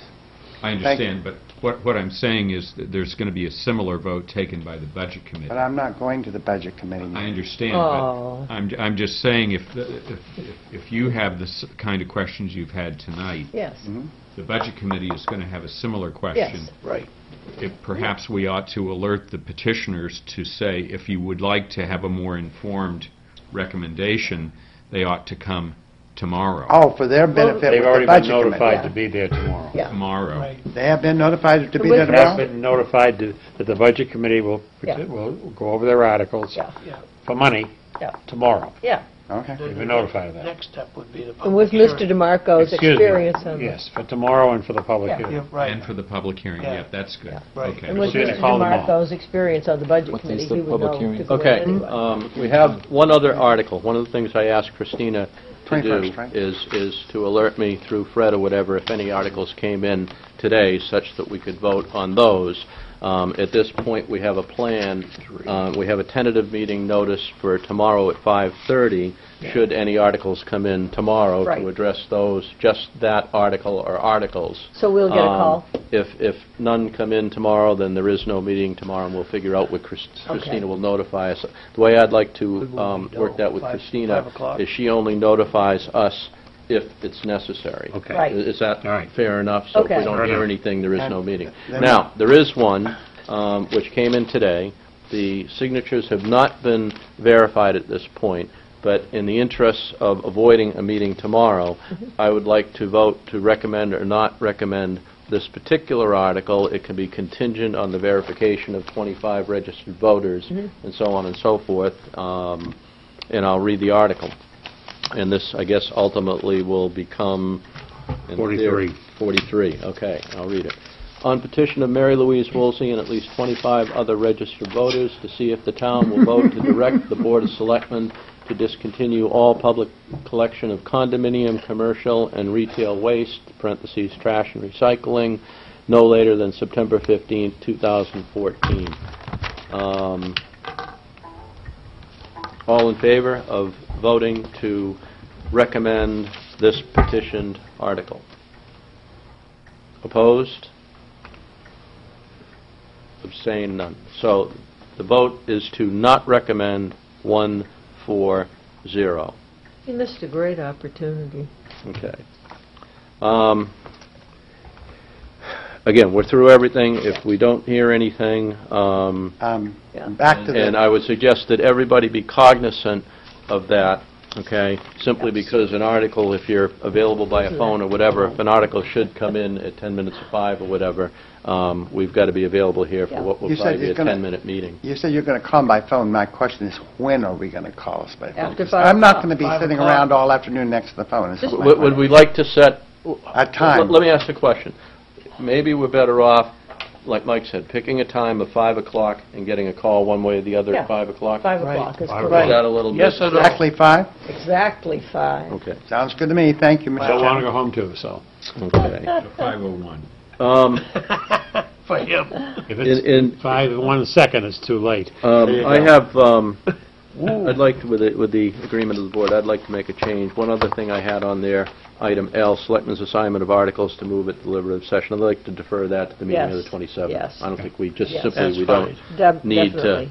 Right. um, Give us time to think. Plus, do the that Budget tonight Committee or might bring whatever. up some interesting points. Yeah. okay, so we're Yeah. all set on that. Yeah. Um, Tentative meeting petition warrant articles tomorrow at 5:30. We already talked Right. about that. I just wanted to make sure everybody's aware of that. Mm-hmm. Um, Christina was having a little trouble when I talked to her today, getting everybody to get back to her, so I'd just like to confirm, we've got a meeting um, tentatively set for the approval and signing of the 2014 warrant, as well as the selectman's picture to the town report Yep. on January 22nd at 4:30. Correct. That should be a fairly That was quick meeting. okay with me. Can you make that, Phil? Yeah, and I'd like Fred to be in the picture with us. Can we have Fred in the picture with He- us? What, you want to break a camera? Fred? No, I'll do that on my own. Goes on the town manager. I know, I just, I just wanted to get it out there that we wanted Fred. Okay, so we can confirm back to Christina, then sir. that we're all set, We will. okay? The and, 22nd um, at 4:30 in the Yes, afternoon. sir. Just, just so, kn- we've got Yeah. so much going on, nothing false or corrects. I don't think she had noticed that at this point, because she was waiting to hear from a Right. couple of you, She so, We'll see that's done tomorrow morning. whatever, Yeah. okay. Good. Um, Terrific. Getting information to the Budget Committee, or Yes. whatever. Um, I'd like to talk about this a little bit. Um, Oh, Here we go. There was some concern expressed at the Budget Committee last week, both in their Tuesday and their Thursday meeting, relative to the availability of- of of information. I didn't see the the Tuesday meeting, I caught the end of the Thursday meeting, and and and I'd just like to kind of say a few things and basically kind of lay out a plan. Um, Past practice for finalizing warrant articles, and the concern was that they don't have final warrant articles. Past practice for finalizing warrant warrant articles has been the Selectmen's meeting the day before the statutory cutoff date, which is the second Tuesday in January. This year, the second Tuesday in January is tomorrow. What we're talking about is tonight's meeting, and that's what we're doing. That's what we plan to do. Um, I can recall having countdowns in December where we said there's four meetings before Yeah. January 13th, and and so on and so forth. I only saw the tail end of the meeting, and I don't know, Phil, did you want to elaborate on that at all, or? The floor is yours, Mr. Okay. Chairman. Um, Historically, at least for the past five years, the Budget Committee has held their public hearing on a date following the Yes. warrant article statutory cutoff date. Correct. Okay? Yeah. 2014, they initially scheduled the public hearing for January 9th, the week before the second Tuesday. Mm-hmm. I don't know if anybody picked up on that last week. I didn't until I I saw the concern that was expressed uh, I at didn't Tuesday pick and up on it. Thursday's meeting. Um, And speaking with Christina, when January 9th was initially set for this year's public hearing, they were just looking at last year's ja- date of January 10th, as opposed to looking at the second Tuesday and where it falls, or yeah, that's whatever. critical. In 2013, the second Tuesday fell on January 8th. That happens to be the earliest possible date that the second Tuesday can fall. This year, the second Tuesday is January 14th. Yeah. The latest possible date that it can fall. Okay, that's just the way it works. That's the way the year shifts. So mm-hmm. scheduling the, the public hearing before the cutoff date, it's- it's it's problematic, because what it does, it creates a potential requirement for a supplemental public mm-hmm. hearing yeah. to address any petition warrant articles that may come in, money articles that may come in after the initial public hearing. Yeah. I don't think anybody wants two public hearings. The Budget Committee is now scheduled for January 21st. Yeah. They have requested that the final money articles be available by noon tomorrow. I called Eileen last Thursday just to let her know that it may be a problem. Mark, at that point, was scheduled for a hearing at the BTLA Yeah. and was not available tomorrow. However, Mark told me this this afternoon that trial for tomorrow was actually canceled. Mark is now available to work with Fred, and my understanding is, is that Mark and Fred are committed um, to make the appropriate changes to the warrant based on our actions here tonight, and, and I, I think that there's, am I correct, there's some level of optimism that you can have it available by I- noon time? I believe th- where we are in the process now for the Budget Committee's copies, that we'll have that finished before the department head meeting at 9:30. Committed is the right word. Committed. I'm gonna throw the You key say you're away going to soon. Concord, huh? Um, So, at any rate, um, I will volunteer to be the selectman rep, selectman's rep to tomorrow's Budget Committee meeting to help work out this for the future. I'm familiar with the, now, anyway, with some of the details of Yep. Second Tuesday and all that, and qu- quite frankly, I was planning, I I think I needed to be there anyway, s- simply to address any questions related to the CPAs that Mhm. um, Good. may pop up. So if you're all, if we have a consensus, I'll attend the um, meeting tomorrow, of the Budget Committee, Yeah. as the selectman's rep. Yes, and and thank you, Um, Mr. Chairman. Just, just uh, one, on on a scheduling note, uh, I have a conflict on the 21st as well, so I will not be able to attend, so you can uh, Okay. make that allocation as well, The please. 21st is the public Hearing. hearing. I think at at a minimum, um, Mary Louise will attend. I'm always there. As, as, as the alternate rep, and I suspect that we may even have a quorum, but Yeah. whatever. Either way, Mary Louise. I'll be there. We- we- absolutely. Oh, you said we're going to notice that, right? Yes, Thank you. Right, yeah, please, Christina. we'll notice any meeting where, where. I'll probably we go think to at the least three public hearing just so I can hear I'd people also make make noise. a a couple of other comments, and I will pass this on to the Budget Committee Complaints. tomorrow, because I'm not sure they, they know this, but um, we took a lot of positive steps this year to improve the process associated with warrant articles. We organized all of the warrant articles into a single MS Word document with a table of contents and agreed that it was a public document. Christina produced 22 revisions Yeah, of this yeah. MS Word document, the first being on May 30th, and the most recent one this past Friday. We began s- including warrant articles on our agenda every week going Mm. back to late August, okay? We sp- scheduled a special warrant article meeting, you may recall, on November 22nd to try and catch up. We Mm-hmm. Mhm. felt we were being behind, falling behind, and beginning with the December 19th revision, a column titled "Date Finalized" Mhm. was added to the table of contents, identifying the date that we considered specific warrant articles essentially complete. So I'm, you know, I want to make sure that that the um, Budget Committee is aware of that. It's my assumption that that we would Mhm. um, continue with this same process, maybe one that even has further improvements next year, um, and I just want them to know that that exists. I want to suggest one more comment. We have gone bent over backward to not place warrant articles on the warrant that are incomplete, poorly drafted, or poorly, uh, poorly set up for this point in time. We've tried to have everything on there that is fine-tuned, polished, and we have pulled those that we think are not proper. I'll make one comment if I may, Mr. Chairman. I like the idea that what we did with the revisions is we along this, the suggestion was to put the date on each revision, which Mhm. I think that makes it Yeah. fu- easier for people to follow. And the other thing I'll make a comment on is when I was on the Budget Committee, looking from that point of view, I really couldn't see any reason why they couldn't be done earlier. Yeah. And I'll be honest, I mean, I know we did a ma- a pretty good job this year. I think we could have got them done a little bit earlier. One- One observation I made, Mike, on that, and I looked at it from the standpoint of what we targeted being the, the January Mhm. 13th, tonight's meeting or whatever, to Mhm. complete it. W- One of the problems you have is you say, okay, you know, why could, one of the things I asked myself, why could we have, for example, not had them done on January 6th or whatever? Right. One of the problems that you run into is you, if you start working your way back from Mhm. January 6th, first week back, you've, you've got a holiday. In this particular year, you've got a holiday that's right smack dab in the the middle of the week, and you've got people taking vacations on Mm. both sides. You had a snowstorm. You go back to the week prior to that, okay? It's You've got a holiday. holiday. Yeah. Again, Christmas, right in the middle of the week. You've got people Mhm. that take vacations on Christmas Yeah. and so on and so forth. You work your way back to, to, to Thanksgiving.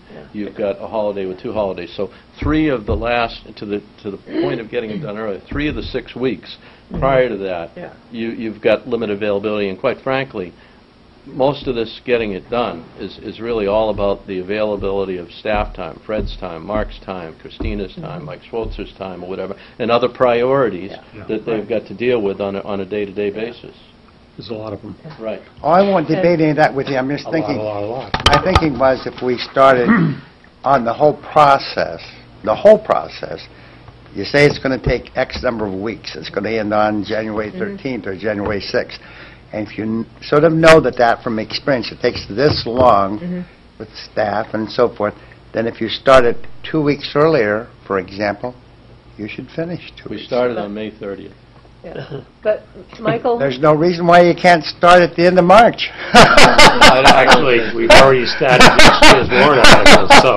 Fred and I were discussing next, one of next year's warrant articles. Good show, get it out of the way. But, but you gotta, I'm impatient too, Mike, and I s- used to say the same thing when I sat on the Budget Committee. However, what I have found is that when you have an, a draft of an article, it spawns corrections and extra thoughts Right. that you need to incorporate, and the next thing you know, it takes time, and I don't want to ever put an unfinished, half-witted article before I the agree public. with that, I want but it it was- really polished and fine-tuned. I agree with that, but since And the I think we beginning of did a lot time of when that. selectmen have created warrant articles, they've had that problem. Right. That's nothing And new. that's why you've seen some, perhaps, articles that haven't been, Was that a popular occurrence when you were that selectman? that haven't been fine-tuned as they might. Okay, any other uh, old business? Nope. New business. First on Plod- Plodzik and Sanderson Professional Association Accountants and Auditors Auditing Does that mean Services. we have to fill that out? Or- I didn't quite understand that. Isn't Um, isn't Mike filling that out? I filled it out Yes. and, and, and and sent a copy to Plodzik, I copied um, probably Mike, I don't. copied Red, whatever. My understanding is that all selectmen should be filling that out. Really? Okay. Oh. It- Well, it- put it this way, it asks questions like, are you aware of any fraud? Oh, okay. Oh, I okay. haven't My done my mine yet. answer was no, but I think they're looking to I'll have have to fish that all out, I selectmen, guess. I would think. They'd like input from everybody. Yeah, When Oh. can we get that to you? as soon as possible. It- Anytime it- you want. It it took- it took me about deadline. 10 minutes. No, I mean, I just don't, I just want to know if it's, is it too late? That's the Oh, first, no, no, No, no, no, no. no, no, no, Okay. no. it's the first time I've seen It's too that. late, I missed So it. it's. It's- it's- In all it's years been they've around a been few doing the years. auditing, I- that's the first time I- I've I- seen it. I I've won't- done I'm not three or sure four if it's years been now. around the entire No, time. no. And we did it last year, I think. I think we all signed it last year. Okay, I at just any forgot rate, about it. Yes. to the issue at hand, okay? Yes. What? We we have a letter, and essentially, my interpretation, Mark, Fred, correct me if I'm wrong, is is what they're basically looking for us to do is is is um, agree to and confirm the terms of engagement. Yes, sir, with that's them. correct. Um, Any questions on the the letter or whatever? No, I agree with the, uh, I I have I have a couple. Um, Let me look back, this was Saturday or whatever. One was have the other selectmen responded to Plodzik and Sanderson. We've covered that, and Yeah. and I believe the the expectations they We all do. will. You can fill out the Word document, and then send an email back to them, or you Okay. could print a hard copy, whatever you chose to do. Um, We've agreed, the the um, agreeing on the terms of engagement. Who are we authorizing, because this is going to end up in a motion, who are we authorizing to sign um, this? Anyone you want. Usually it's Mike that's, or- or I that. that, uh, Okay, so we're looking for a motion to Yeah. authorize the town manager to sign, that's Yeah. fine. Um, Question, Fred, we've negotiated a fee on a multi-year basis um, with Plodzik and Sanderson. Yes, That sir. do- You know, that doesn't mean that we don't agree to the terms each year. Right. Where- Where where do we stand in that multi-year cycle? I This will think be it's the last year of the that third cycle. year. Yes. Okay. Yeah. Um, So we'll be rebidding again. So we'll be going out to bid um, for the 2015 right. um, Yes, sir. 2014 audit, 14. which takes place in 15. Okay. Um, Okay, would somebody like to Also make a- move to authorize the town manager to sign the releases to resolve the court case of Harrington versus D'Angelo. and Whoa, whoa, whoa, whoa. Oh. You're- You we're ahead. we're talk- One ahead. Just jumped ahead of an agenda item. It- It's the terms of, of, We're doing of this, the audit. of engagement with the The Oh, auditor. you did, oh, okay. That's what we're doing, Oh, the audit. well, I thought we did the audit fast. No motion, okay. You made it go too fast. Make the motion again, Brad. Let's Let's try that You motion. said it's not due until next No, no, no, the, the, the, the, the pricing was agreed on a three-year basis, but Yeah. there's all kinds of other details in the terms of engagement here. I will make a motion um, to authorize the town manager to sign um, the letter confirming our agreement with the terms of, the- of engagement with Plodzik and Sanderson for the 2013 audit. I'll Second. second. it. Seconded by Barely wait. Selectman Pierce. Sele- Seconded by Selectman Pierce. You didn't want to let me hear a motion. Right, all, all in favor? Unanimous, You're here, okay. Fred. Next I- issue, authorization of the town manager. Here we go, here we sign- go, Mary Louise. I have to say Okay. that all over again. Okay, where's my gavel? Okay. Um, Authorization of the town manager to sign releases to resolve court case of Harrington versus D'Angelo and Hampton. Mark, did you want to speak to that at all? Uh, Yes, this is, a- there was a litigation that was pending for some time over an incident that occurred August 2, 2012. The town was not initially named as a defendant in the case, but was added only very recently. Uh, The case ends up being resolved uh, without the town paying any money whatsoever, nor is its insurer paying any money whatsoever. Nevertheless, because we were named as a party, it's important that there be uh, releases signed among all parties, not only to avoid any liability on our part for the underlying case, but to avoid any liability for what they call contribution Mhm. among the jointly named Parties, defendants.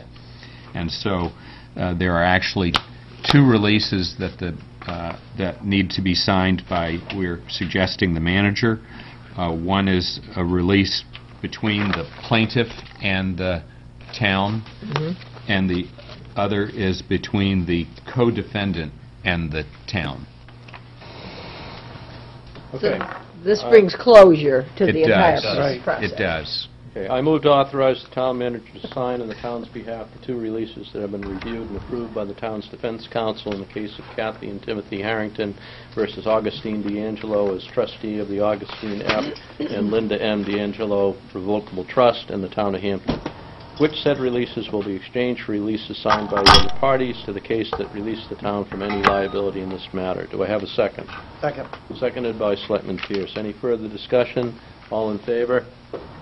Unanimous. Any other new business? Just One quick one. I was speaking with the school superintendent a couple of days ago, and she asked if it was possible to have their tech, their technical uh, gentleman, um, whose name I forget at the moment, uh, participate as a member of the uh, cable TV committee. Would you think on that I- I collectively? don't I don't have to think of it. I I think it's a good idea. Oh. Why not? I- I've- It's crossed my mind Mhm. several times in the past or whatever.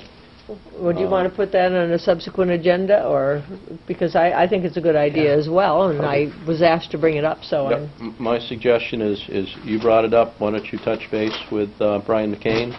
Oh, um, Get okay. his, get Brian's input, And and would you have then- it on a and let's subsequent put it on a, agenda? you know, let Okay. me know, Yeah. let Christina know, whatever, and put it on a future agenda. okay, thank The only- you. The only problem you might run in, if they have, say, five members, he might make a six, then you might have to Well, I'll, I'll do check something about that, maybe. I'll check with Brian. Maybe, probably not, but maybe. Let's see how it works. Yeah. Okay, any other new business? Consent agenda, the consent agenda has one item, it involves seven, I think. seven new Right, veteran um, tax credit applications, which Oh, have been reviewed by uh, Ed. Tinker. Okay. Um, I'll make a move- motion, Mary Louise has made a Yeah. motion to approve the consent agenda, I'll second it. All in favor? Unanimous approval of the consent agenda. Any closing comments? Yes, Um, I have a closing comment. Everybody's invited down to someplace for a nice refreshment after the meeting, because I have something to celebrate. Instead of the forlorn mo- mood I've been in for the last few days. If you, if you would speak a little bit more succinctly, so I can understand what you just said, that I would be very... deliberately talked like that so you wouldn't understand. Oh. Okay. Anyway, Um, no, everybody's invited out for a refreshment after the meeting if they would like, and I will pick up the tab. I'm Um, celebrating something of a private ma- nature. I have one closing comment, and it's just bringing up a, um, an issue, maybe a future um, agenda item, whatever, but I, I think we ought to begin the discussion with DRED in terms of the MOU that applies to 2014, and I have two suggestions in that, and see what the board's thoughts are. One, let's basically try as, to change as little as possible, simply because so we don't I spend signed tons it and wrong tons and tons of We time Whatever. um, Where was going it? around in It's supposed to circles or sign whatever. all over here. The, the second thing is, is I would request that we make sure that the language and the amount associated with, with them delivering trash to the transfer station is such that it covers our cost, and, and that's not in dispute. There was a Right. bit- bit of a dispute on that last year, so I think we have to make sure that the language right and the amount is based on what Keith has calculated or whatever. Yep. But, uh, Uh, Wasn't there a couple of other little issues that I- came up along, like Wasn't there something about the police and non-state property and tickets and so forth? That's something between the police department and the Attorney General's office. So we don't need to, No, that has nothing to do with DRED. okay, I have a okay. comment. I refuse to engage in any such nonsense unless they will get their tailbones in here and sit down and look us in the eye and talk about it in public. Period. I will make a motion to adjourn. I'll second that. At 9:48 p.m. All in favor? Well... Unanimous. Okay, we're adjourned.